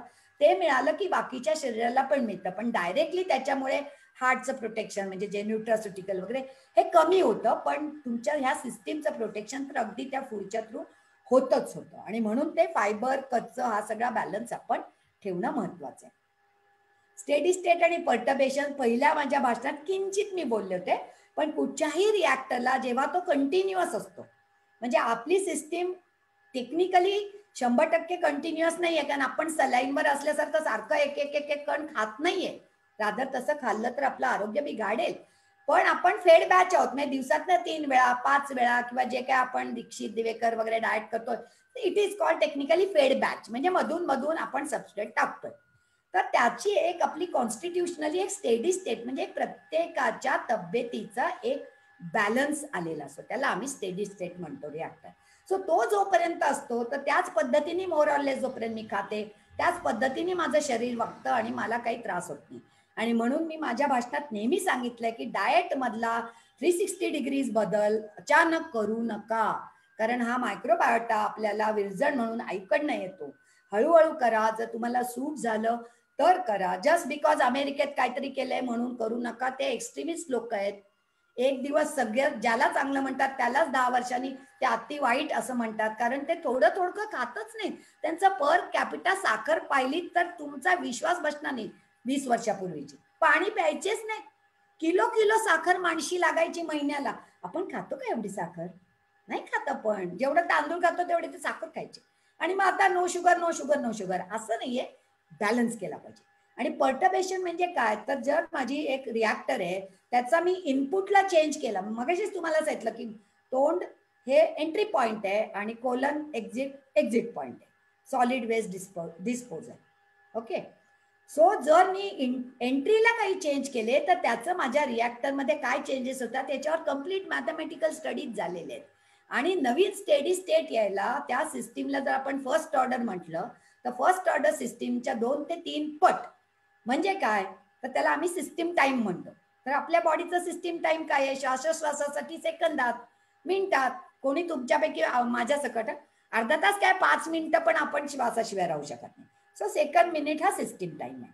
पण खाण्याचा वन डे म्हणायला हरकत नाही. Formation of body nine months म्हणजे दोन तीन दिवस नाही खाल्लं म्हणून लगेच मी बारीक होत नाही जाड होत नाही आजारी पडत नाही सशक्त होत नाही. पण जर मी तीन महिने म्हणजे नऊ महिन्याचा काहीतरी सायझेबल ह्याच्यात मी बदल केला आणि तो बदल मी टू टाइम्स नाईन मंथ्स और थ्री टाइम्स नाईन मंथ म्हणजे निदान दीड किंवा कदाचित सव्वा दोन वर्ष जर मी तो नवीन बदल ठेवला तरच माझ्या बॉडीची नवीन टेंडन्सी नवीन स्टेडी स्टेट होतं. त्यामुळे मोस्टली सगळे डायटिशियनना हे माहिती नाहीये कारण त्यांनी केमिकल इंजिन केलेलं नाहीये. त्यामुळे चार आठवड्यात किंवा सहा आठवड्यात जे डाएट करता ते सोडल्यावरती दोन आठवड्यात पहिल्यासारखं तुमचं वजन होतं. कारण स्टेडी स्टेट जी ओरिजिनल आहे त्यालाच तुमचा रिॲक्टर जाणार आहे. ही नॅचरल टेंडन्सी आहे. It can be shown by mathematics पण तुम्ही तो बदल जर ठेवला काही काळ आणि तो सूट झाला तर तो तुमची कायमची नवीन टेंडन्सी होऊ शकते. सो आपण हंगर सटायटी आणि uh, एपिटाईट पाहताना माझ्या दृष्टीने साखर हा एक महत्त्वाचा गोष्ट आहे. कारण सगळ्यांनाच सर्वसाधारणपणे सगळ्यांनाच गोड आवडतं. लहान मुलं असताना अगदी एक वर्षानंतर तिखट सगळी मुलं खातील असं नाही. पण असं कोणी मूल नाहीये की त्याला ना गोड आवडलंच नाही असं नाहीच होऊ शकत. कारण आपल्या शरीराचं पहिलं जे इंधन आहे ते आहे ग्लुकोज. आणि एक ग्लुकोज आणि एक फ्रुक्टोज एकत्र येऊन जर त्याचं बॉन्डिंग झालेलं असेल तर जे डायसॅक्राईड मिळतं ती आपली नेहमीची साखर. ती ऊस किंवा बीट ह्याच्यापासून मिळते. पण ती एका क्षणात म्हणजे आपल्या पोटात गेल्यावर एका क्षणात त्याचे दोन भाग तयार होतात. पण डायरेक्टली जर आपण फ्रूट ज्यूस घेतला तर फ्रूटमध्ये फ्रुक्टोज आणि ग्लुकोज हे मुळात असतातच. विशेषतः जी गोड फळ आहेत आंबा वगैरे त्याच्यात आणि सुक्रोजही असू शकते आणि स्वतः उसामध्ये असतेच की सुक्रोज अगदी ट्वेंटी टू पर्सेंट पर्यंत असू शकते द्राक्षामध्ये असू शकते. म्हणजे असं समजू नका की ते फळ आहे म्हणजे त्याच्यात साखर नाहीये. तर कोणतं फळ आहे त्याच्यावर आहे आणि साखर ही सगळ्यांना आवडते. आणि त्याचं किती प्रमाणे सहा चमच्याहून जास्ती साखर दिवसभरात खाता कमा नाहीये मग ती चहाच्या स्वरूपात असेल ना तर अजून काय असेल? पण जेव्हा उन्हात ना आलं तर पूर्वी सुद्धा गुळाचा खडा आणि पाणी द्यायचे. कारण त्यांनी लगेच एक तरतरी आपल्याला येते. जे ब्लड शुगर ड्रॉप झालेली आहे ती ताबडतोब आपल्याला मिळते. शिवाय माल्टोज लॅक्टोज इतर आहेत लॅक्टोज ही दुधाची साखर आहे. आपण ह्याच्याविषयी एकदा मागे उल्लेख केला होता की काही लोकांना लॅक्टोज इंटॉलरन्स आहे. आणि स्टॅटिस्टिक शोज की फॉरेन मध्ये वन इन टेन म्हणजे दहा टक्के लोकांना लॅक्टोज इंटॉलरन्स आहे. आपल्याकडे तितकं नाहीये. माझं जे ऑब्झर्वेशन आहे वन इन थाउजंडच्या आसपास आहे. कारण हजारातल्या एखाद्या मुलाला आईचं दूध सुद्धा पचत नाही. So he is born with lactose intolerance म्हणजे लॅक्टेज एन्झाईमही त्याच्या सिस्टीममध्ये नाही आणि लॅक्टोबॅसिला पण कमी आहे. आणि हे असं का आपल्याकडे लॅक्टोज इंटॉलरन्स एवढा दिसत नाही? कारण गरीबातला गरीब सुद्धा आपल्याकडे कमीत कमी पाव लिटर दूध घेतो आणि चहा दूध घालून तो पितो. वेऱ्याच तिकडे नेहमी दधी दही किंवा चीज किंवा पनीर किंवा अजून ऍसिडिफाईड मिल्क अशा स्वरूपातच फॉरिनमध्ये दूध कन्झ्युम होतं. डायरेक्ट दूध म्हणून कधीच होत नाही. कारण ते टी आणि कॉफी ब्लॅकच घेतात. वेऱ्याच आपण नेहमी थोडं गोडबर का होईना दूध आपल्यात निर्माण होतं. आणि थिओरिटिकली लॅक्टोज इंटॉलरन्स त्याला अलर्जी नाही म्हणत लॅक्टोज इंटॉलरन्स आपल्या सगळ्यांच्यातच हळूहळू निर्माण होतं. एक वर्षापर्यंत तान मूल तान्यापासून एक वर्षाचं मूल सहा महिने ते एक वर्ष रोज एक लिटर दूध पितं. दुसरं जवळजवळ काहीच खात नाही. तुम्ही एक लिटर दूध पिऊन बघा दुसरं काही न खाता तरी सुद्धा पोट फुगू शकेल. पण आपण पैलवानाचं वर्णन करायचं ना बघा चरवीभर दूध पितो. आणि म्हणजे त्यामुळे जे दुधाचं प्रोटीन आहे तर मांसाहारातनच प्रोटीन मिळालं पाहिजे असं मुळीच नाही किंबहुना आता जे वेगन आहेत ते तर त्याच्या पूर्णपणे विरोधात आहेत त्यांना तर दूध पण चालत नाही कारण ते प्राण्याचे आहे म्हणून. पण दुधाचं प्रोटीन एक उत्तम प्रोटीन आहे. आणि शाकाहारातनं पण प्रोटीन मिळतं. जंगलामधला हत्तीच ताकदवान आहे. तो शाकाहारी आहे. आणि जे आपले पाळीव प्राणी आहेत त्याच्यात घोडा ताकदवान आहे. पण तो ते दोघंही शाकाहारी आहेत. पण घोड्याला पण चणे खायला घालतो. आणि हत्ती सुद्धा बांबू आणि अशा गोष्टी खातो. ओके? आणि त्याच्यामुळे ग्लुकोज ही अत्यंत महत्वाची आहे. सुक्रोज महत्वाची आहे. तुम्हाला कंटाळा आला आणि एक गोळी खाऊन छान वाटत असेल आणि डायबेटीस नसेल तर भुशाल का? आणि म्हणूनच आपण मागच्या आपल्या भाषणात जेव्हा ग्लायसिमिक इंडेक्सचा उल्लेख केला तेव्हा ग्लुकोजला शंभर पकडून बाकी सगळ्या अन्नाची किती प्रमाणात पचन होतं? ग्लुकोज फास्ट कशाच होणार नाही. सो भात किंवा अशा कुठेतरी सत्तर वगैरे असा ग्लायसिमिक इंडेक्स आहे बिकॉज ग्लुकोज इज हंड्रेड ज्वारी वगैरे काहीतरी अजून साठ सो पन्नास आणि साठ वगैरेच्या मध्ये आलं तर तुम्ही त्याला लो ग्लायसिमिक इंडेक्स म्हणू शकता फूड लॉ प्रमाणे. बाकी सगळे मध्यम आहेत. सत्तरच्या वरती म्हणजे ते जवळजवळ गोड आणि साखरच झाली. ओके आणि म्हणून अजून एक पण मी पुढचं स्ला स्लाइड केले मधाविषयी. माझे ह्याच्यावर आर्टिकल्स पण होते. मध हे साखरेचं संपृक्त द्रावण आहे. त्याच्यात ग्लुकोज आणि फ्रुक्टोज भरपूर असतात. पण ग्लुकोज फ्रुक्टोजचं तिथे रिॲक्शन झालेली नाहीये. तसं असतं ते सुक्रोज झालं असतं. किंबहुना ते इन्व्हर्ट झाल्यामुळे ते क्रिस्टलाइज होत नाही. आणि म्हणून फ्रीजमध्ये ठेवू नये. कधी मध ठेवायचा नसतो. असं दाखवलेलं आहे की जर ऑथेंटिक चांगला मध असेल तर तो तीन तीन हजार वर्ष राहिलेला आहे. आणि पूर्वी आपल्याकडे आजीबाईच्या बाटव्याप्रमाणे घरात एक मधाची बाटली होती. आणि कसली पूजा काय पंचामृतात मधाला स्थान होतं मधुपर्क. त्यामुळे मध हे एक खूप चांगलं औषधी साखरेचं स्वरूप आहे. पण ते प्रमाणात घेतलं पाहिजे. एक ते दोन चमचे सहा चमचेचं सगळी साखरच मी घेणार आहे तर नुसताच मध घेऊन चालणार नाही. आणि ज्यांना डायबेटीस आहे त्यांनी वाटेल तेवढा मध खावा. हे त्यांचं एक गोड गैरसमज आहे. त्याच्यात एटी टू पर्सेंट साखर आहे आणि उरलेलं पाणी आहे. त्यामुळे वाटेल तेवढा मध नाही खायचा आहे हे लक्षात ठेवायचंय. इवन जे शुगर फ्री आहेत त्याच्यावर आहे का माझं पुढचं? मला वाटतं सिंथेटिक शुगरच्या इथे मी म्हटलेलं आहे. हल्ली ओ आर एस एक माहिती ऑब्झर्व केले द्या दहा वर्षात गेल्या. आपल्या इथल्या जाहिराती म्हणजे खूपच सुंदर असतात. पण इतकं विज्ञान आहे की आता प्रत्येक ग्राहकाला ना ते पुढच्या पाच दहा वर्षात वैज्ञानिक करून सोडणार आहे त्यामुळे माझ्याहून लहान असलेल्या लोकांची वैज्ञानिक करिअरला जरा एक डेंजर निर्माण झालेलं आहे. आता गेले काही दिवस हे ओ आर एस वाली एक जाहिरात येते. माझी नव्वद वर्षाची आई आहे मगाशी सांगितलं. करोनामुळे सध्या ती माझ्या घरी राहते. मला तिने परवा बोलावलं अगं हे ओ आर एस काय आहे? म्हटलं थांब बाबा मी पण बघते. सो ते ओरल रिहायड्रेशन सॉल्ट आहे आणि जे इलेक्ट्रॉल म्हणून जी क्लासिकल पावडर आहे ते डब्ल्यू एच ओच्या स्पेक्स प्रमाणे ती पावडर आहे की त्याच्यात किती साखर पाहिजे किती सॉल्ट पाहिजेत. म्हणजे साधी गोष्ट आहे. उन्हात ना आल्यावर गुळ का देत होतो? तर साखरेबरोबर त्याच्यात ते क्षार सुद्धा आहे नुसतीच साखर नाही चालणार ती कार्बोहायड्रेट झाली. कारण आपण जेव्हा भरपूर घाम आपल्याला आलाय भरपूर व्यायाम केलाय भरपूर आपण खेळलोय तर नुसतीच आपली एनर्जी डाऊन नाहीये की बाबा फ्युएल टाका गाडीमध्ये. विच इज ग्लुकोज और सुक्रोज और सम शुगर और कार्बोहायड्रेट त्याला त्याचं बरंच एन एस सी एल गेलंय काही पोटॅशियम गेलंय इतर सॉल्ट गेले आहेत आणि त्याच्यामुळे जो आपला बॅलन्स आहे रक्ताभिसरणाचा सगळीकडचं जे एक्सचेंज सिस्टीम होणार आहे again it is membrane and chemical engine किडनीचं functioning आहे या सगळ्यामध्ये हा बॅलन्स असणं महत्वाचं आहे.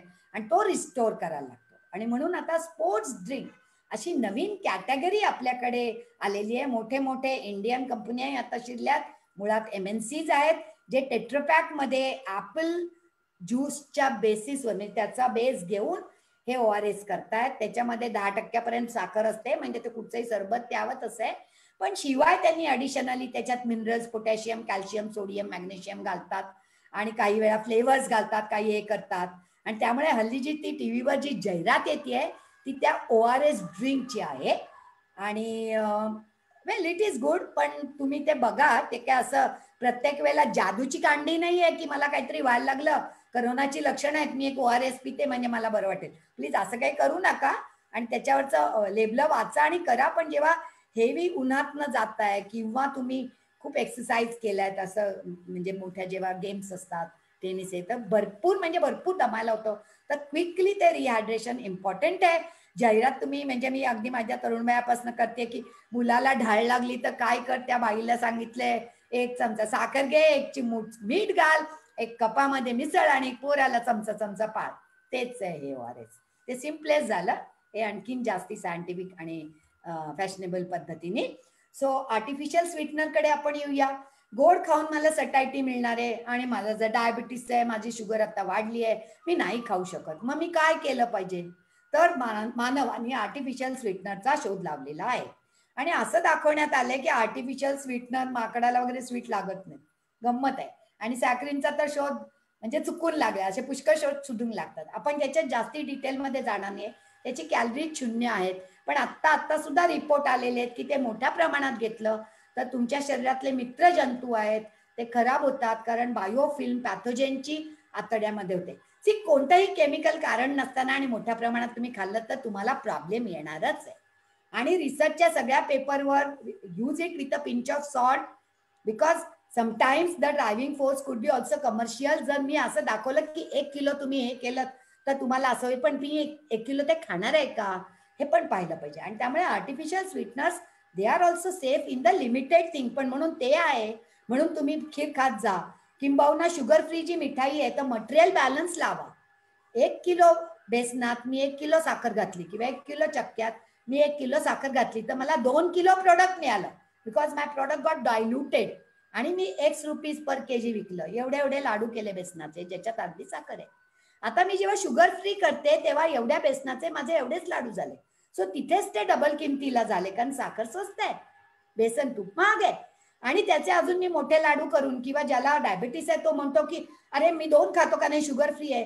तर बाकीच्या गोष्टी चौपट जातात.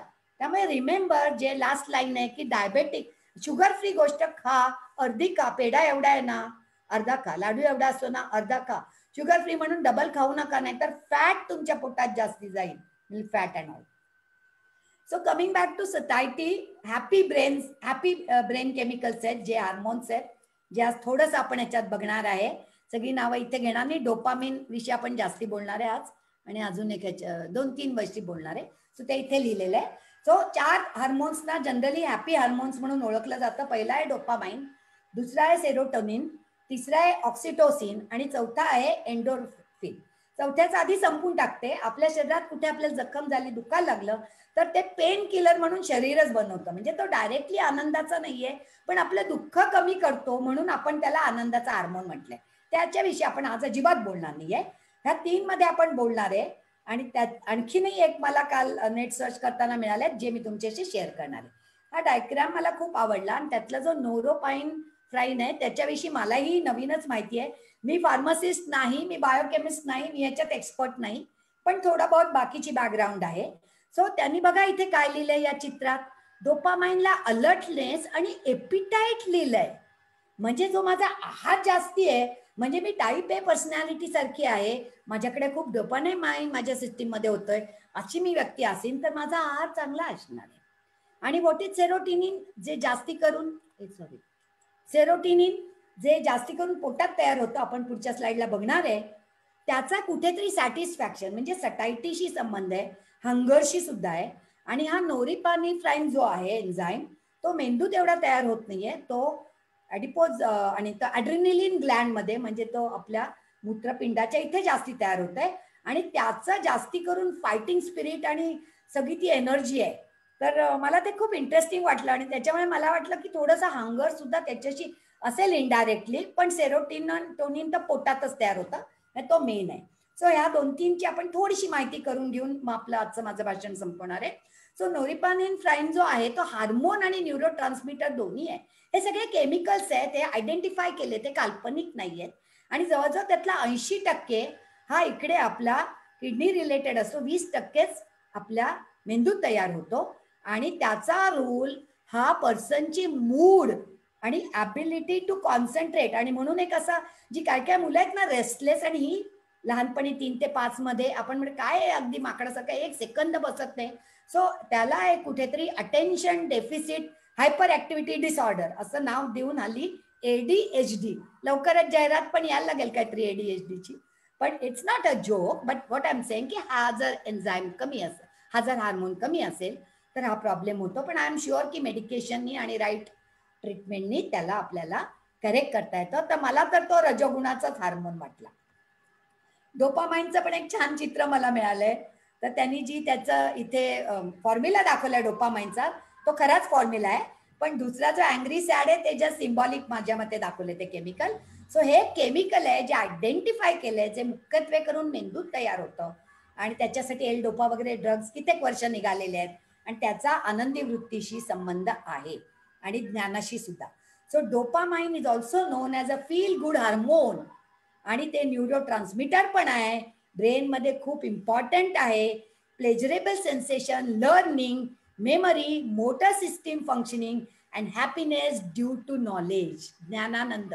म्हणजे तुमचं आता डोपामाइन लेवल ऑलरेडी वाढायला लागली असा माझा अंदाज आहे. हार्मोनच्या डेफिशियन्सीनी काय होतं? तर जो ऑक्सिटोसिन आपण हार्मोन पाहिला जो प्रेमाशी संबंधित आहे तर ऑटिझम ज्याच्यात तो कमी असेल कारण त्या ऑटिझममध्ये तो फक्त स्वतःचाच तो मुलगा विचार करतो मुलगा मुलगी. तो असा रिटार्डेड नाही म्हणतायत पण तो पुअर सोशल फंक्शनिंग असतं. किंवा एखाद्या आईला प्रेम कमी असतं वात्सल्य लोकांविषयी. सो इन जनरल आपण जो मोठे संत म्हणतात बहुतेक त्यांचा ऑक्सिटोसिन खूप जास्ती असणार आहे. आणि डेफिशियन्सी ऑफ डोपामाइनमुळे पार्किन्सन डिसीज होतो. जो हल्ली मोठ्या प्रमाणात होत असल्यामुळे सगळे त्याच्याकडे लक्ष देत आहेत आणि औषधही काढली आहेत आणि म्हणून आपलं डोकं वापरत राहणं सुडुकू सोडवणं चॅलेंजेस ब्रेनला देणं are is one way of keeping it alive हा सगळ्यात महत्त्वाचा खाण्याच्या दृष्टीने आहे सेरोटोनिन आणि ह्याचा रेग्युलेट होतात मूड ॲपिटाईट डायजेशन आणि ऐंशी ते नव्वद टक्के हा पोटातच तयार होतो. म्हणजे हा ब्रेन मधला हार्मोन नाही सायंटिस्टनी ऑलरेडी स्टडी केला की मूड फूड असतात की ही फूड्स खाल्ली तर तुमचा मूड चांगला होतो. ज्याच्यात फर्मेंटेड फूड्स किमची योगट काय काय काय काय दिले म्हणजे प्रोबायोटिक वगैरे डार्क चॉकलेट आणि असं पण कॉफी हे ते दिलेलं आहे. म्हणजे बेसिकली आपल्याला तरतरी वाटेल असं. आणखीन इवन फॅटी गोष्टी घ्या म्हणून सांगितलेले कारण छान वाटतं ना जरा तळलेलं किंवा गोड आणि केक बीक खाल्ला तर ते आहे. सो इंग्रजीत म्हणतात फिलिंग ब्लू म्हणजे आपल्याला डल वाटलं की ते म्हणतात feeling blue so if you are feeling blue calorie rich high sugar ice cream वगैरे खा. असं मला नेटवरती मिळालं तर इथे मी खाली माझी आधी घातली आहे if I am feeling blue me vada pav panipuri followed by falooda ice cream malai kulfi खाणे so this is what it means आता आपली जुनी संस्कृती काय म्हणते? रामदास समर्थांनी म्हटलंय पूर्वी आपल्या घरात जवळजवळ सगळेच रोज म्हणायचे की रोज जेवताना श्रीहरीचं नाव घ्या. अन्न हे पूर्ण ब्रह्म आहे नुसतं आपण खात नाहीये. हे जणू काही यज्ञ आहे. आता हा श्लोक मी माझ्या नातवाला सांगितला त्याला कळणार नाही कारण त्याला यज्ञ माहिती नाहीये ब्रह्म माहिती नाहीये हवन माहिती नाहीये. पुढचाही श्लोक आहे रामदास स्वामींचा जनी भोजनी नाम वाचे वदावे अति आदरे. सो हे कोणी आपण करत असू अतिउत्तम पण करत नसू म्हणजे आपण सगळे दुःखी होणार आहे असं नाहीये बदललेल्या काळाप्रमाणे आपल्याला पाहिलं पाहिजे. सो मी एक quickly home food hotel food असे कंपॅरिझन करायचा प्रयत्न केला. होम फूड साधं असतं कमी तेल पण प्रेमाने केलेलं असतं. हल्ली बहुतेक सगळ्यांकडे पोळ्याला बाई आहे स्वयंपाकाला सुद्धा बाई आहे पण तरी सुद्धा मी ती आपलं प्रेमाने करते असंच म्हणेन. कारण आपल्याकडे ह्युमन रिलेशनला महत्त्व आहे. कितीतरी ठिकाणी दोन दोन पाच पाच दहा दहा वर्ष तीच बाई येते. तिला तुमचं प्रेम वाटतं ती पैशासाठी जरी तुमच्याकडे येत असेल तरी रोज स्वयंपाक करताना मला इतका पगार मिळतो आज मला इतके एक्स वाय झेड रुपीज मिळणार म्हणून मी हे करते असं तिच्या मनात नसतं. राधा तुमच्या घरी कोणी छोटं मूल असेल त्याला काही वेगळ्या पद्धतीची पोळी पराठा आवडत असेल ती त्याचं नाव घेऊन म्हणेल ताई हे करू का एक पोळी? आरोला खूप आवडते. सो ते प्रेमानेच असतं घरचं. बाहेरचं नेहमी चमचमीत मसालेदार जास्ती तेल तूप म्हणजे if I am blue mood मला ते आवडणार आहे. पण वातावरण आता घरचं वातावरण असं आहे जरा लॉकडाऊनमुळे सगळे आहोत पण ते पण सगळेजण आपापले सगळ्यांचं चालू असतं ऑनलाईन रूम हे ते ते. प्रत्येकाची वेगळी वेळ समोर दूरदर्शन आणि इकडे खातायत नाहीतर हातात मोबाईल आणि इकडे खातायत. एक गोष्ट चांगली आहे हॉटेलची चांगल्या हॉटेलमध्ये बहुतेक रेंज नसते म्हणून मोबाईल पासून सुटका असते आणि आपण फॅमिली बरोबर मित्रपरिवार बरोबर जातो गप्पा गोष्टी करतो म्हणजे आताच्या काळामध्ये मला तरी असं दिसतंय की माझ्या हार्मोननी सटायटी मला तेव्हाच येईल जेव्हा मला जरा असं मी जाऊन खाईन. घरामध्ये बऱ्याचदा मला येणार नाहीये जर मी टेस्टअप असेल तर. जर ऑलरेडी माझ्याकडे ज्ञानाचा आनंद आहे कलेचा आनंद आहे समाजसेवेचा आनंद आहे असं काही आनंद असेल तर मुळे मी ब्लू मूडमध्ये जाणारच नाहीये. आता हल्ली मॉडर्न आहे पर्सनलाइज डाएट आणि पर्सनलाइज मेडिसिन हा कॉन्सेप्ट आहे जीन फूड इंटरॅक्शन त्याच्याबद्दल आपण आता नाही बोलणार आहे पण श्रेयस प्रेयस आणि सात पिढ्याचा बदल होतो वगैरे मी उल्लेख पण केलाय. सो सडनली आपलं फूड आणि हॅबिट्स बदलू नका. हेल्दी आणि टेस्टी खा. So quickly I can say की rather than becoming in blue mood आपण कायम पिंकानी राहू शकत माझ्यासारखं. सो डू लिस्ट एवढी मोठी आहे की कंटाळा यायलाच वेळ नाहीये. प्रश्न येतच कुठे कंटाळा यायचा? करायचं करायचं करायचं एवढं आहे. कर्ण संपत दिवस संपतो कर्ण संपत नाही. पाच गोष्टी केल्या तर अजून सहा येतात. म्हणजे एक बाय वन गेट वन सारखाच आहे. ती एक ऑटो कॅटॅलिटिक पॉझिटिव्ह जेव्हा होते तेव्हा करण्याबद्दल अधिक चांगलं अधिक करा अधिक करा. मग आपण आणखीन एफिशियंट होत जातो. बायोलॉजिकल क्लॉक सेट करा. योग्य स्लीप महत्वाची आहे एक्सरसाइज महत्त्वाचा आहे. नेचर बरोबर गार्डनिंग पिकनिक सगळ्यांना माहिती आहे पण जस्ट रिट्रेट क्रिएटिव्हिटी हॉबी आता तर मुलं घरात बसून जाडी झालेली आहेत. खेळणं बंद झालंय आणि खाणं वाढलंय. हेल्पिंग अदर्स सोशल वर्क मी तर त्याला P S R personal social responsibility म्हणते. आणि ही अशी लेक्चर्स मला वाटतं की त्याच्यात भर घालतात. काल मला ही एका हेलन म्हणून एका मुली बाईच्या पीएच डी मध्ये तिने न्यूरोबायोलॉजिकल कोरिलेट्स विथ पर्सनॅलिटी दाखवले आपण शेवटचे दोन बघूया कारण ते दोन हार्मोन्स विषयी आपण बोलले त्या दोन हार्मोन्स विषयी बोललेलं नाहीये. तो तिने त्या सेरोटिनिनचा माणूस कसा असतो? तर cautious conventional concrete meticulous rules follow करतो अथॉरिटी असते आणि रिलिजियस असतो. वेर ॲज डोपामाइन वाला कसा असतो? Curious creative spontaneous energetic mentally flexible daring आणि त्याची काही उदाहरणं दिली आहेत. इथे तिने बुशचं दिलंय इथे तिने जॉन केनडीचं दिलंय. ते महत्वाचं नाही आहे पण ही सगळी लोक जी अशी आहेत त्यांच्यामध्ये भरपूर असे हार्मोन्स होते. आणि म्हणून काल एक हे मी चित्र शोधून काढलंय आणि खाली हे जे लिहिले ते मी लिहिलंय.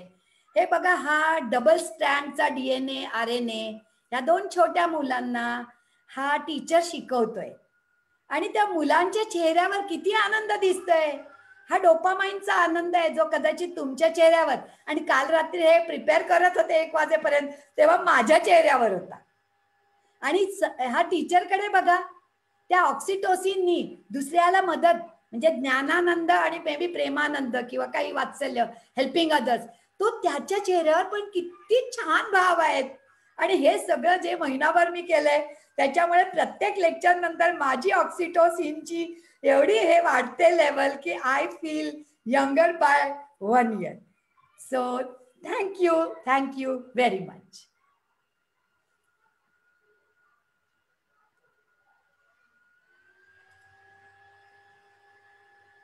Anjali? प्रश्नोत्तर घेतीयस ना? हॅलो. हा. हा येत आहे का? ऐकू येते हो येते हा हा. डॉक्टर स्मिता लेले मॅडमनी आज इतक्या छान पद्धतीने आपले हार्मोनल लेवल आता मला वाटतं सगळ्यांचं जर मोजता मला माहिती नाही मोजता येतं की नाही ते पण मोजलं असेल तर पाच वाजल्यापेक्षा सहा वाजताचं ते ऑक्सिटोसिन आणि डोपामाइन लेवल आहे ते नक्कीच वाढलेलं असेल. येत आहे ना? ऐकू? तर हो, आपण हो. आता प्रश्नोत्तर घेऊया. आज मला वाटतं ते ऐकण्यामध्ये लोक सगळे प्रश्न विचारायला पण विसरले का काय मला कळत नाहीये. पण तरी जेवढे आले आहेत त्याची मी सुरुवात करते. पहिला प्रश्न कोणीतरी विचारलाय की दुधात प्रोटीन पावडर घालून आता मुलांना जे द्यायचं चालू आहे ते द्यावी का तशी?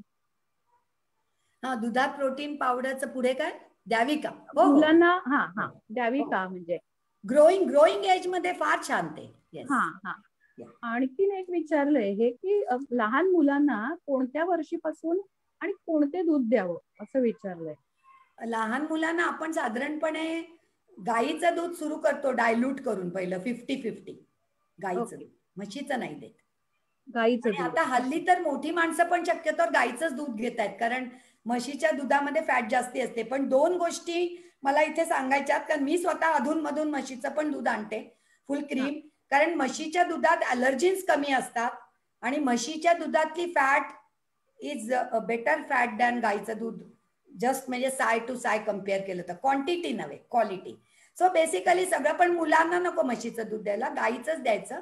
सहा महिन्यापासून. आपण फिफ्टी फिफ्टी करून देतो. आणि एक वर्षानंतर सुद्धा आणि पुढे जेवढं पितील तितके दिवस ट्वाईस अ डे एक एक कप तुम्ही देत राहा. तेव्हा काही पाणी नाही घालायचंय. आणि जर त्याच्यात हे प्रोटीन पावडर सी खूप जणांना असं वाटतं की वाय एम सपोर्टिंग प्रोसेस घरात मी करते आमकी पावडर खुशाल करा पण जेव्हा प्रोसेस प्रोटीन असतं तेव्हा ते पार्शली डिहायड्रेटेड असतं ब्रोकन असतं. म्हणजे दोन हजारची नोट तोडायला तुम्हाला कठीण पडतं दुकानात. त्याच्या शंभर शंभरच्या केल्या तर सोपं पडतं नेमकं तेच असतं. फक्त त्यांनी त्या बाटलीवर जे सांगितलंय ना त्याला चारानी भागा तेवढं मुळीच देऊ नका. एक चमचा वगैरे छोटा चमचा घाला. आचरट सारखं घालू नका. ते वाटेल तर सायतलेलं असतं त्यांचं लवकर विका विकलं जावं म्हणून. पण एक एक चमचा मात्र तुम्ही थोडस छोटा रोज घातलात it will give you very good result. जास्ती घातलं ते मूल पिणारच नाही नंतर जेवणार नाही. So you just balance it so तसं दोनदा दूध देत राहा. शक्य असेल तर दोन वेळा त्याच्यात ते बोनविटा किंवा काय जे तुम्हाला आवडत असेल ते घालू शकता. Especially in growing age up to age sixteen or eighteen from. Age six or eight not below that त्याच्या आधी घालू नका. आणखीन एक विचारला आहे प्रश्न की खरी भूक कशी ओळखायची? खरी भूक कशी ओळखायची? म्हणजे आता मी त्याचं रिव्हर्स देऊ शकते लागलेली नाही कळणार. पण पहिला. घास तोंडात घातल्यावर तुम्हाला जो आनंद मिळतो. तेव्हा तुम्हाला कळतं की मला खरी भूक लागली होती. आणि जर तुम्ही जेवणात बसल्यात किंवा दुसरं तुम्ही करा की आता जसं उकडलेला दुधी मी घेते. पहिला घास उकडलेला दुधी खायची तुमची तयारी असेल तर तुम्हाला खरी भूक लागली तुम्ही असं म्हटलं तर तुम्हाला खरी भूक लागलेली नाही. किंवा मग जेव्हा आपल्याला एखादा वास येतो छान जेवण चालू असताना आणि मग असं वाटतं अरे जेवूया आपण तर ती पण खरी भूकच असते ना बेसिकली नाही नाही नाही. खरी भूक नसते. It's a pseudo signal see आपल्या भुकेमध्ये आणि सटायटीमध्ये केमिकलच्या जोडीला मनाचा पण रोल आहे. म्हणजे आवडती भाजी आता रोज समजा एक दहा वर्षाचा मुलगा आणि तो दोन पोळ्या भाजी खातोय आपल्याला माहितीये भाजीत सगळं काय एवढं खात नाही पण ठीक आहे. अर्धी वाटी भाजी आणि दोन पोळ्या खातोय. पण ज्या दिवशी त्याच्या आवडीचं असेल तर तो तिसरी पोळी खाऊ शकतो. म्हणजे तेव्हा आपलं थोडं ओव्हर इटिंग होतं पण ठीक आहे दॅट्स लाईफ ना. That's life you can do it once in a way एवढं पण अगदी असं म्हणजे मी मागेही ऐकलेलं की श्रेयस आणि प्रेयसचा बॅलन्स खावंसं वाटतंय म्हणजे मला मोह होतोय. तर you have to earn it do your exercise do healthy healthy breakfast do healthy lunch have junk at four o'clock and dinner and over eating if you can असं. म्हणजे रोजच्या रोज तो बॅलन्स करा. ओके आणखीन एक प्रश्न असा आलाय की रोज जेवताना गुळ खावा का? किती चांगला म्हणजे? गोड. हा गुळ गुळ. गुळ. नाही नाही. रोज नका गुळ खाऊ. गुळ तसा उष्ण असतो जे आपल्या आयुर्वेदिकच्या म्हणण्याने असतो. त्यामुळे थंडीमध्ये खाऊ शकता. उगाचच्या उगाच रोज नका खाऊ. खूप उन्हाळा असेल तेव्हा नका खाऊ. थंडी असेल तर गुळ तूप खूप जणांना हे बघा सहा चमचे साखर मॅक्सिमम रोजची ऍव्हरेज तुमच्या पोटात गेली पाहिजे. मग तो तुम्ही तो गुळ खात असाल तर ते दोन चमचे पकडा चहाचे पकडा.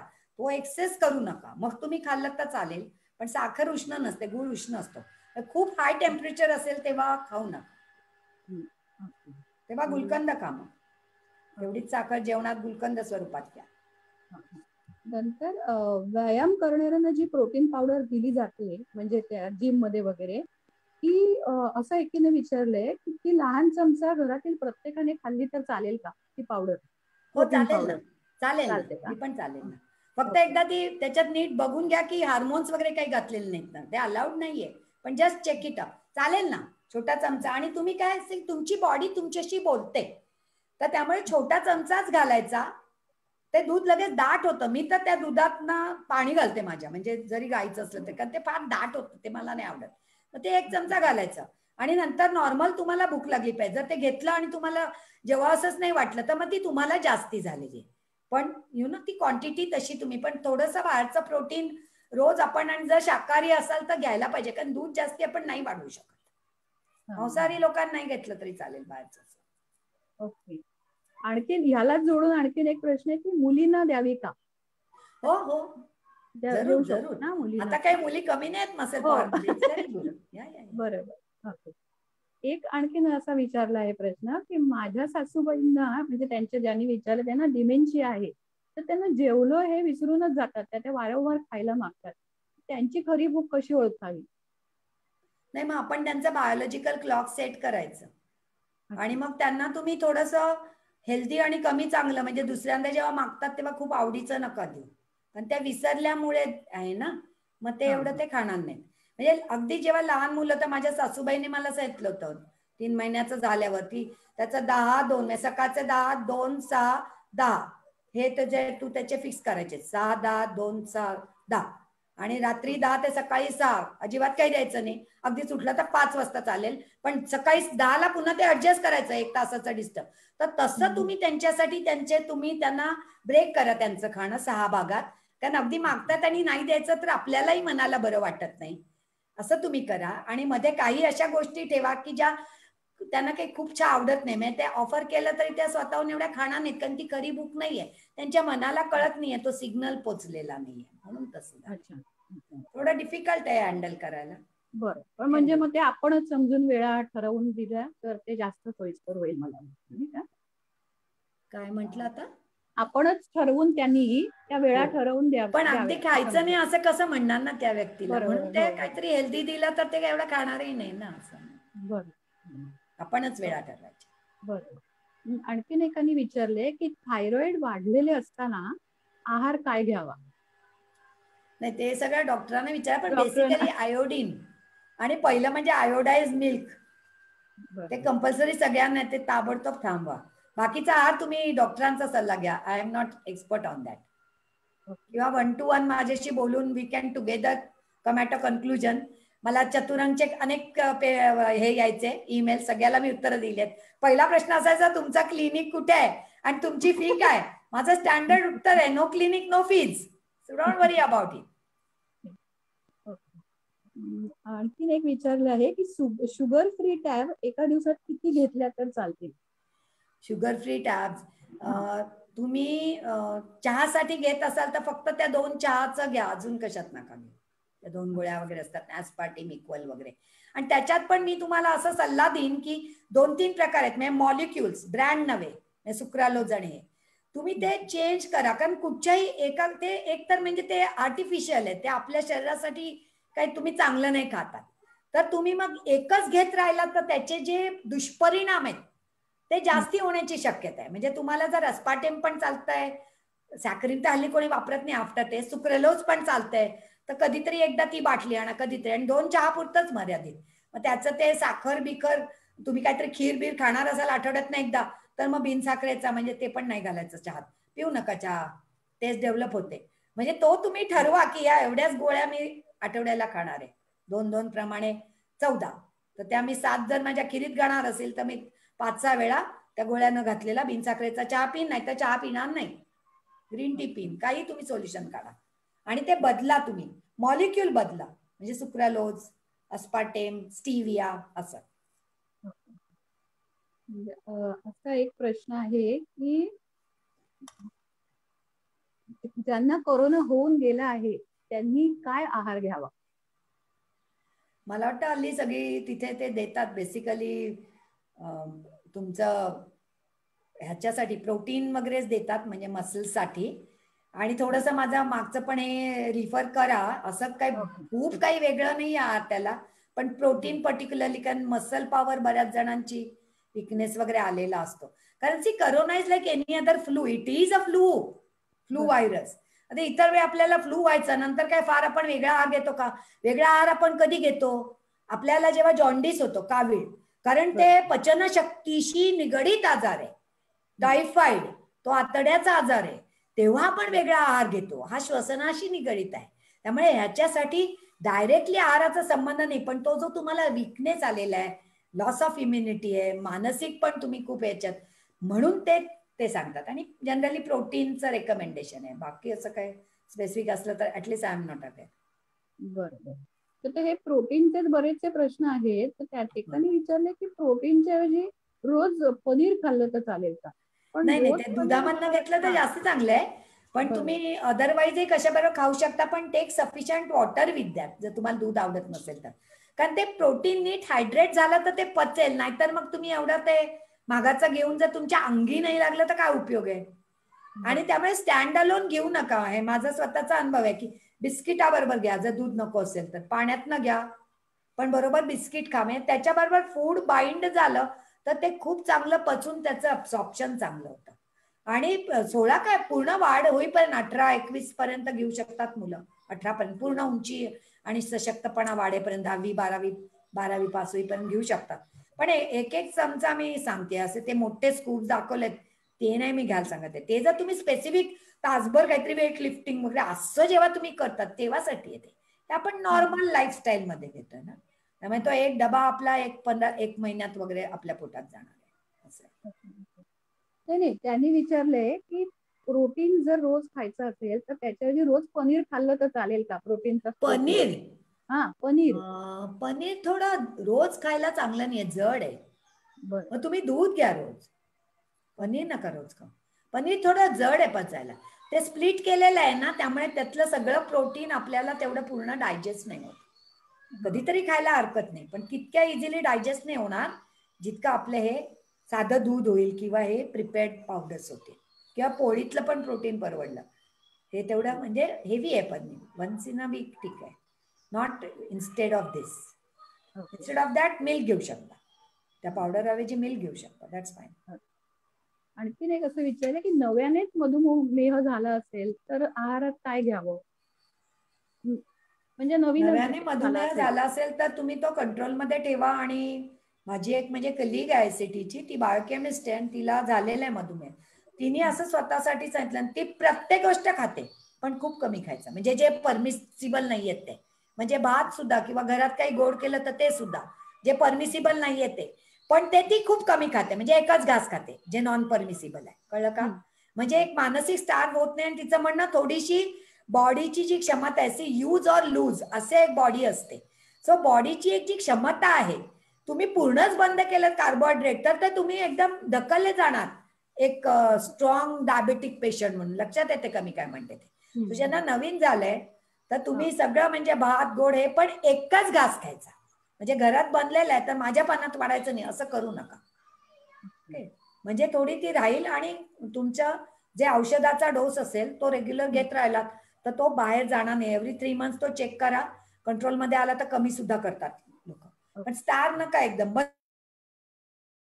आणि स्टार्च प्रमाण म्हणजे एक घास बरोबर. म्हणजे सगळं खायचं पण ते प्रमाणात थोडे जे अलाउड नाही ते एक घास का बरोबर.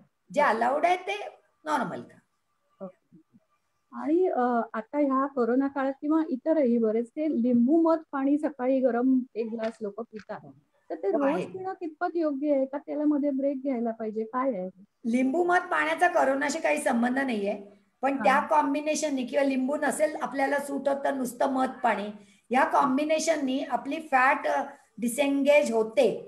असे आहेत रिसर्च मधात तो गुणधर्म आहे. आणि काय आहे माहितीये का? आपण जे रात्री जेवलेलो असतो त्याला आम म्हणतात आयुर्वेदात. ते सकाळी पूर्ण शंभर टक्के रिकाम जठर सगळ्यांचं नसतं आणि सगळ्या वेळेला नसतं. तुम्ही जर रात्री उशिरा वगैरे खाल्ला तर कधी कधी तुम्हाला जाणवतं. तर जेव्हा हे सकाळी उठून त्याला उषक पान म्हणतात. सकाळी उठून नुसतं जरी तुम्ही पाणी प्यायलं तरी त्याचे खूप फायदे आहेत. मध घालून प्यायला तरी चालेल. लिंबा बरोबर आवडत असेल तर ते वेट रिडक्शनचं रिपोर्टेड आहेत. पण त्याचा करोनाशी काहीही संबंध नाहीये. इफ यू रिमेन फिट तुम्हाला तुम्ही चिंतन करू नका. शंकर म्हणे तथा असतो. ओके ओके तर प्रश्न तसे काय संपतील असं मला वाटत नाही. एक प्रश्न आता वेगळा एक जरा आहे की हिमोग्लोबिन कमी झाली असेल तर कशाने वाढते? काय कमी झाली असेल तर? Haemoglobin haemoglobin. हिमोग्लोबिन. अच्छा. हिमोग्लोबिन कमी झालं तर त्याचा अर्थ रेड ब्लड सेल्स आपले कमी झालेले आहेत. सो एक आयर्न पण आपल्याला लागतं. आणि जास्ती हिमोग्लोबिन वाढणारी पण स्पेसिफिक फूड्स आहेत. डॉक्टर तर खूपच कमी झालं असेल तर डॉक्टर तुम्हाला गोळ्याच देतील. म्हणजे बाराच्या जागी सहा वगैरे झालं असेल तर don't wait for the food to correct it म्हणजे operation successful but patient died असं होईल. तसं नाही. कारण फूड विल टेक टाइम गोळ्यानी तुमचं एक एका आठवड्यात वरतील. त्यामुळे अशा वेळेला खूप जर कमी झालं असेल.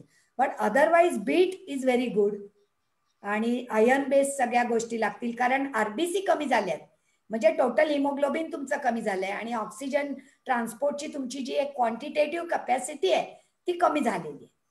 आणि त्याच्यामुळे असे पर्टिक्युलरली बीटला त्यांनी महत्त्व दिलेलं आहे.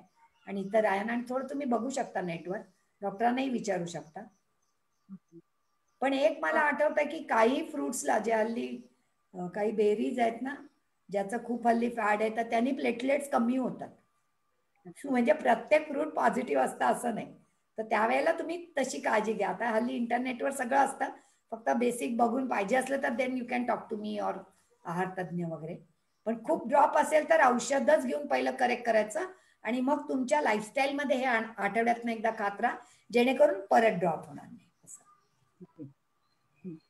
एक विचारलं की टाटा नमक आणि सैंधव यामध्ये काही फरक असतो का? हो, हो, हो. टाटा असं नाही. आता जी टेबल सॉल्ट्स आहेत ते लॉ प्रमाणे आयोडाईज सॉल्ट्सच आपल्याकडे विकायला लागतात.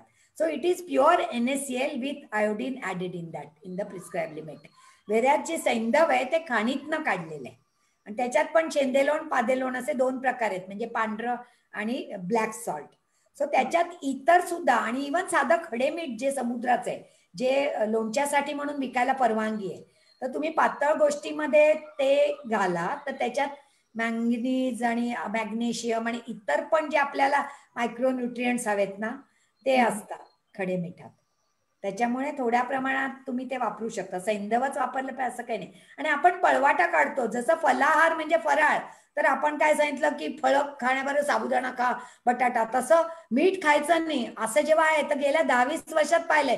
नवरात्रीमध्ये पांढरं मीठ खायचं. म्हणजे ही पळवाट काढली आहे मीठ का नाही खायचं? की गोष्ट आळणी लागते. म्हणजे तुम्ही चमचमीत खाणार नाहीये.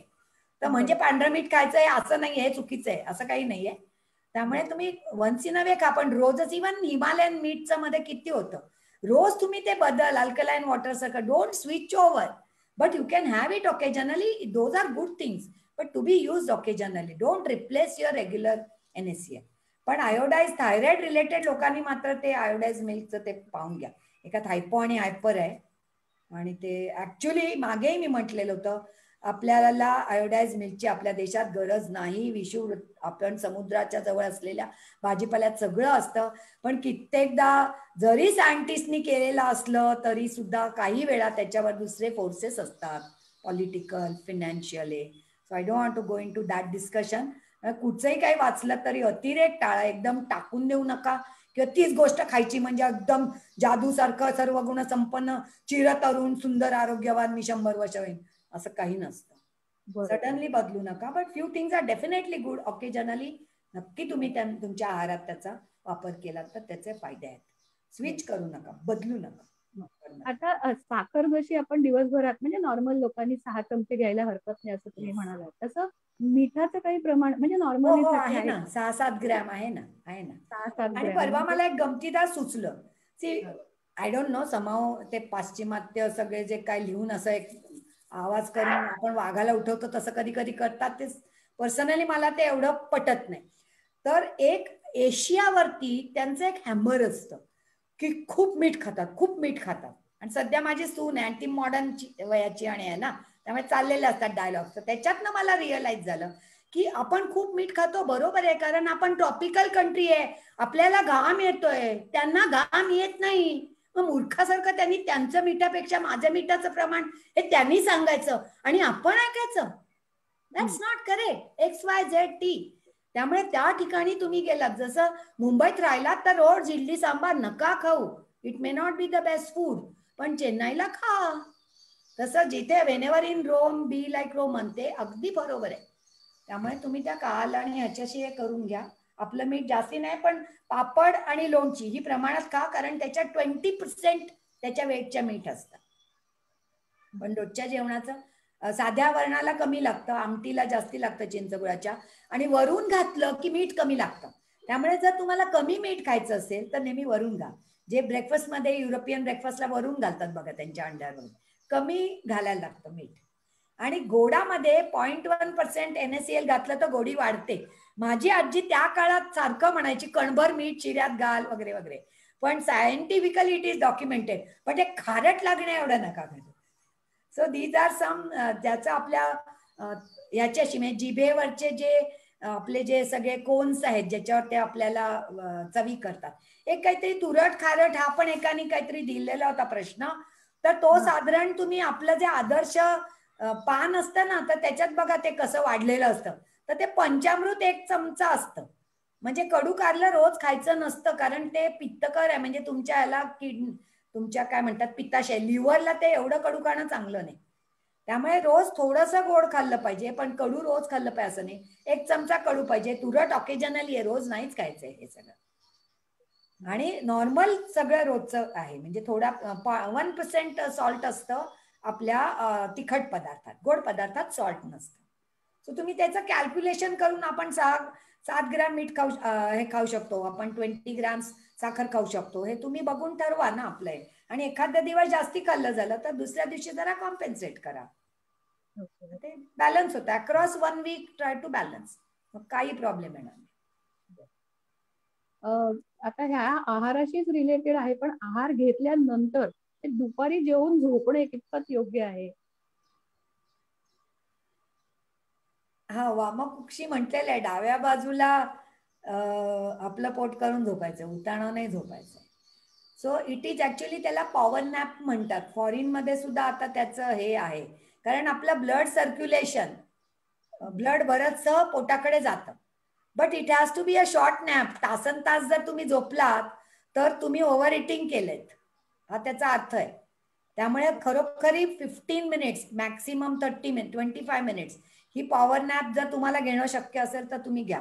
पण त्याहून जास्ती नाही असता कमाल. तुम्ही करू शकता. नंतर एकीने विचारलंय भात भाजी पोळी कोशिंबीर वगैरे खावं का? फक्त पोळी भाजी खावी? नाही नाही. सगळं कोशिंबीर सकट सगळं हवं. पण सगळं दोन्ही वेळा रोज करणं शक्य नाहीये. त्यामुळे तीन तरी तुम्ही टॉगल करा ना. दिवसभरात भात खाल्ला गेला पाहिजे पोळी खाल्ली गेली पाहिजे आमटी खाल्ली गेली पाहिजे भाजी खाल्ली गेली पाहिजे आठवड्यातनं दोनदा उसळ.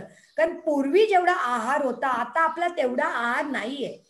रोज हे सगळं करणंही शक्य नाही आणि ते खाणं तर त्याहून जास्ती शक्य नाही. असं मला तरी वाटतं. म्हणजे हा माझा अनुभव आहे. आणि त्यामुळे अल्टरनेट डे का होईना कोशिंबीर एकदा तरी झाली पाहिजे. अल्टरनेट डे तुम्ही उसळ करा भाजी रोज पाहिजे. डाळ कोणत्या ना करू त्या स्वरूपात रोज पाहिजे पण उसळ असेल त्या दिवशी नाही डाळ केली सूप केलं तरी चालेल. आणि काही वेळा कोशिंबीर केली पाहिजे असंही नाही ना आपण कट करून पण सॅलड्स करतो. पण थोडं सॅलड ड्रेसिंग पर्टिक्युलरली विटॅमिन जे फॅट सोल्युबल विटॅमिन जसं गाजर वगैरे तर त्याच्याबरोबर थोडं दाण्याचं कूट खोबरं किंवा फोडणी किंवा सॅलड ड्रेसिंग खाल्लं पाहिजे नाही तर ते अवेलेबल होत नाही. पण काकडी वगैरे तुम्ही नुसती खाऊ शकता. काकडी मुळा जे वॉटर सोल्युबल आहेत ते विदाउट कोशिंबीर पण तुम्ही कट करून घालू शकता. पण प्रमाणात टू मच खाऊ नका. मला वाटतं आजच्या दिवसाला आपल्याला भरपूर ज्ञान मिळालेलं आहे. आणि स्मिताताईंचं सांगणं इतकं छान आहे की आपल्याला ते कधी थांबूच नाही असं वाटतं. पण थोडं आपल्याला त्यांच्या वेळेचा पण विचार करायला पाहिजे. तर मी मुंबई ग्राहक पंचायतीच्या तर्फे माझ्या खूप खूप आभार मानते. पण ते हे मी मंगलताईकडे देते आहे स्पीकर की मंगल तुम्ही हो. आभार मानांचं काम करा. Thank you very much Smita doctor Smita Lele धन्यवाद. प्रश्नोत्तराचं सेशन खूप छान झाला. प्रश्न खरे म्हणजे संपणारच नाहीयेत असंच वाटतंय. कारण एक प्रश्न विचारला की त्याच्यातून आणखीन उपप्रश्न निघतच राहतात. त्यामुळे प्रश्न संपणार नाहीत असं वाटतंय. पण वेळेकडे घड्याळाकडे बघून आपल्याला इथे थांबायला लागतंय. स्मिताताई तुम्ही खरोखर इतकी उत्तम माहिती आम्हाला दिली गेल्या चार सेशनमध्ये आणि म्हणजे मगाशी तुम्ही म्हटल्यात त्याप्रमाणे डोपामाइन लेवल आमचं आता खूप हाय झालेलं आहे समाधान आहे. पण त्याच वेळेला असं पण वाटतंय की नाही अजून काहीतरी हवंय अजून काहीतरी हवंय. आपण बघूया काहीतरी पुढे पण काहीतरी आपण असेच अरेंज करूया. तुम्हाला आठवत असेल तुम्ही फोन केलात एक हो. तेव्हा मी स्वतःहून हावरटपणे सांगितलं. म्हणजे लोक म्हणतील काय या बाईला लाज नाही वाटत चार लेक्चर. चार लेक्चर नसतील तर नाही पुरणार. नाही पुरणार नाही पुरणार. खरंच अजूनही कितीतरी कंगोरे बाकी असतील आणि त्या कंगोऱ्याबद्दल पण आपण बोलणार आहोत. पण ते आता नंतर आपण नक्की जरूर असेच कार्यक्रम अरेंज करूया. अं, मध्यवर्ती समितीने शिक्षण विभागाला पूर्णपणे सहकार्य केलं. त्याबद्दल मध्यवर्ती समितीचे कमिटीचे आभार. समितीचे सदस्य आवर्जून सगळ्या कार्यक्रमांना उपस्थित राहिले. या सगळ्या सभासदांचे सुद्धा खूप खूप आभार. हा असे कार्यक्रम करायचे अरेंज करायचे काम निर्णय वाटून द्यायची. आणि हे जे काम आहे हे सगळं आमच्या सहकारी आहेत शिक्षण विभागातल्या कार्यकर्ते सह- सहकारी. यांच्या मदतीशिवाय आणि यांच्या सहकार्याशिवाय शक्यच झालं नसतं. त्या सर्व सहकार्यांचे सुद्धा खूप खूप आभार. निर्णय विभागातले भौगोलिक तसंच कार्यकारी विभागातले सभासद इकडे आपल्या इथे हजर होते. म्हणजे मला आठवत आहे की तिसरा जो कार्यक्रम होता त्याचा तो म्हणजे हाऊसफुल झाला. पूर्ण पाचशे जण होती त्या दिवशी. म्हणजे बरेच जण कदाचित बाहेरही राहिले असतील त्या कार्यक्रमाला. आज पाचशेची मर्यादा ओलांडली नाही. कारण आज फेसबुक लाईव्ह पण होता. म्हणजे बरेचसे लोक कदाचित फेसबुक वरूनही ऐकत असतील. सर्वांचे खूप खूप खूप आभार. त्याच्यानंतर खरं सांगायचं तर स्मिताताईंच्यामुळे एमजीपीशी बरेचसे लोक जोडली गेली आहेत. म्हणजे स्मिताताईंच्या परिवारातली म्हणा किंवा त्यांच्या ओळखीची म्हणा त्या निरनिळ्या संस्थांची अ, निगडीत आहेत तिकडची म्हणा. आणि ही सगळी मंडळी एमजीपीशी जोडली गेली आहेत. आणि आमचा खरं म्हणजे परिवार मोठा झाला असं मला वाटतंय. त्यामुळे त्या सर्वांचे आभार. आणि हे आमचं कुटुंब खूप आणखीन आणखीन विस्तारते त्याच्याबद्दलही खूप आनंद वाटतोय. या सगळ्यांचे आभार.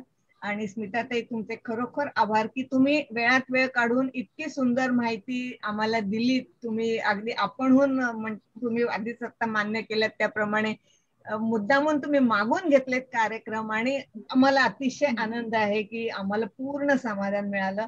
पण तरी सुद्धा म्हणतात तसं हावरटपणा काही संपत नाही. आमची ती भूक आणखीन वाढली आहे खरं सांगायचं तर. आतापुरती मी जरी म्हटलं की आमचं संपूर्ण समाधान झालंय तरी सुद्धा भूक थोडीशी शिल्लक आहे. आपण त्या निर्णया इतर कंगोऱ्यांबद्दल पण नक्की विचार करूया. आता आपण इथे थांबूया. सगळ्यांचे धन्यवाद. स्मिताताई तुमचे पण धन्यवाद. थँक्यू धन्यवाद Thank you. धन्यवाद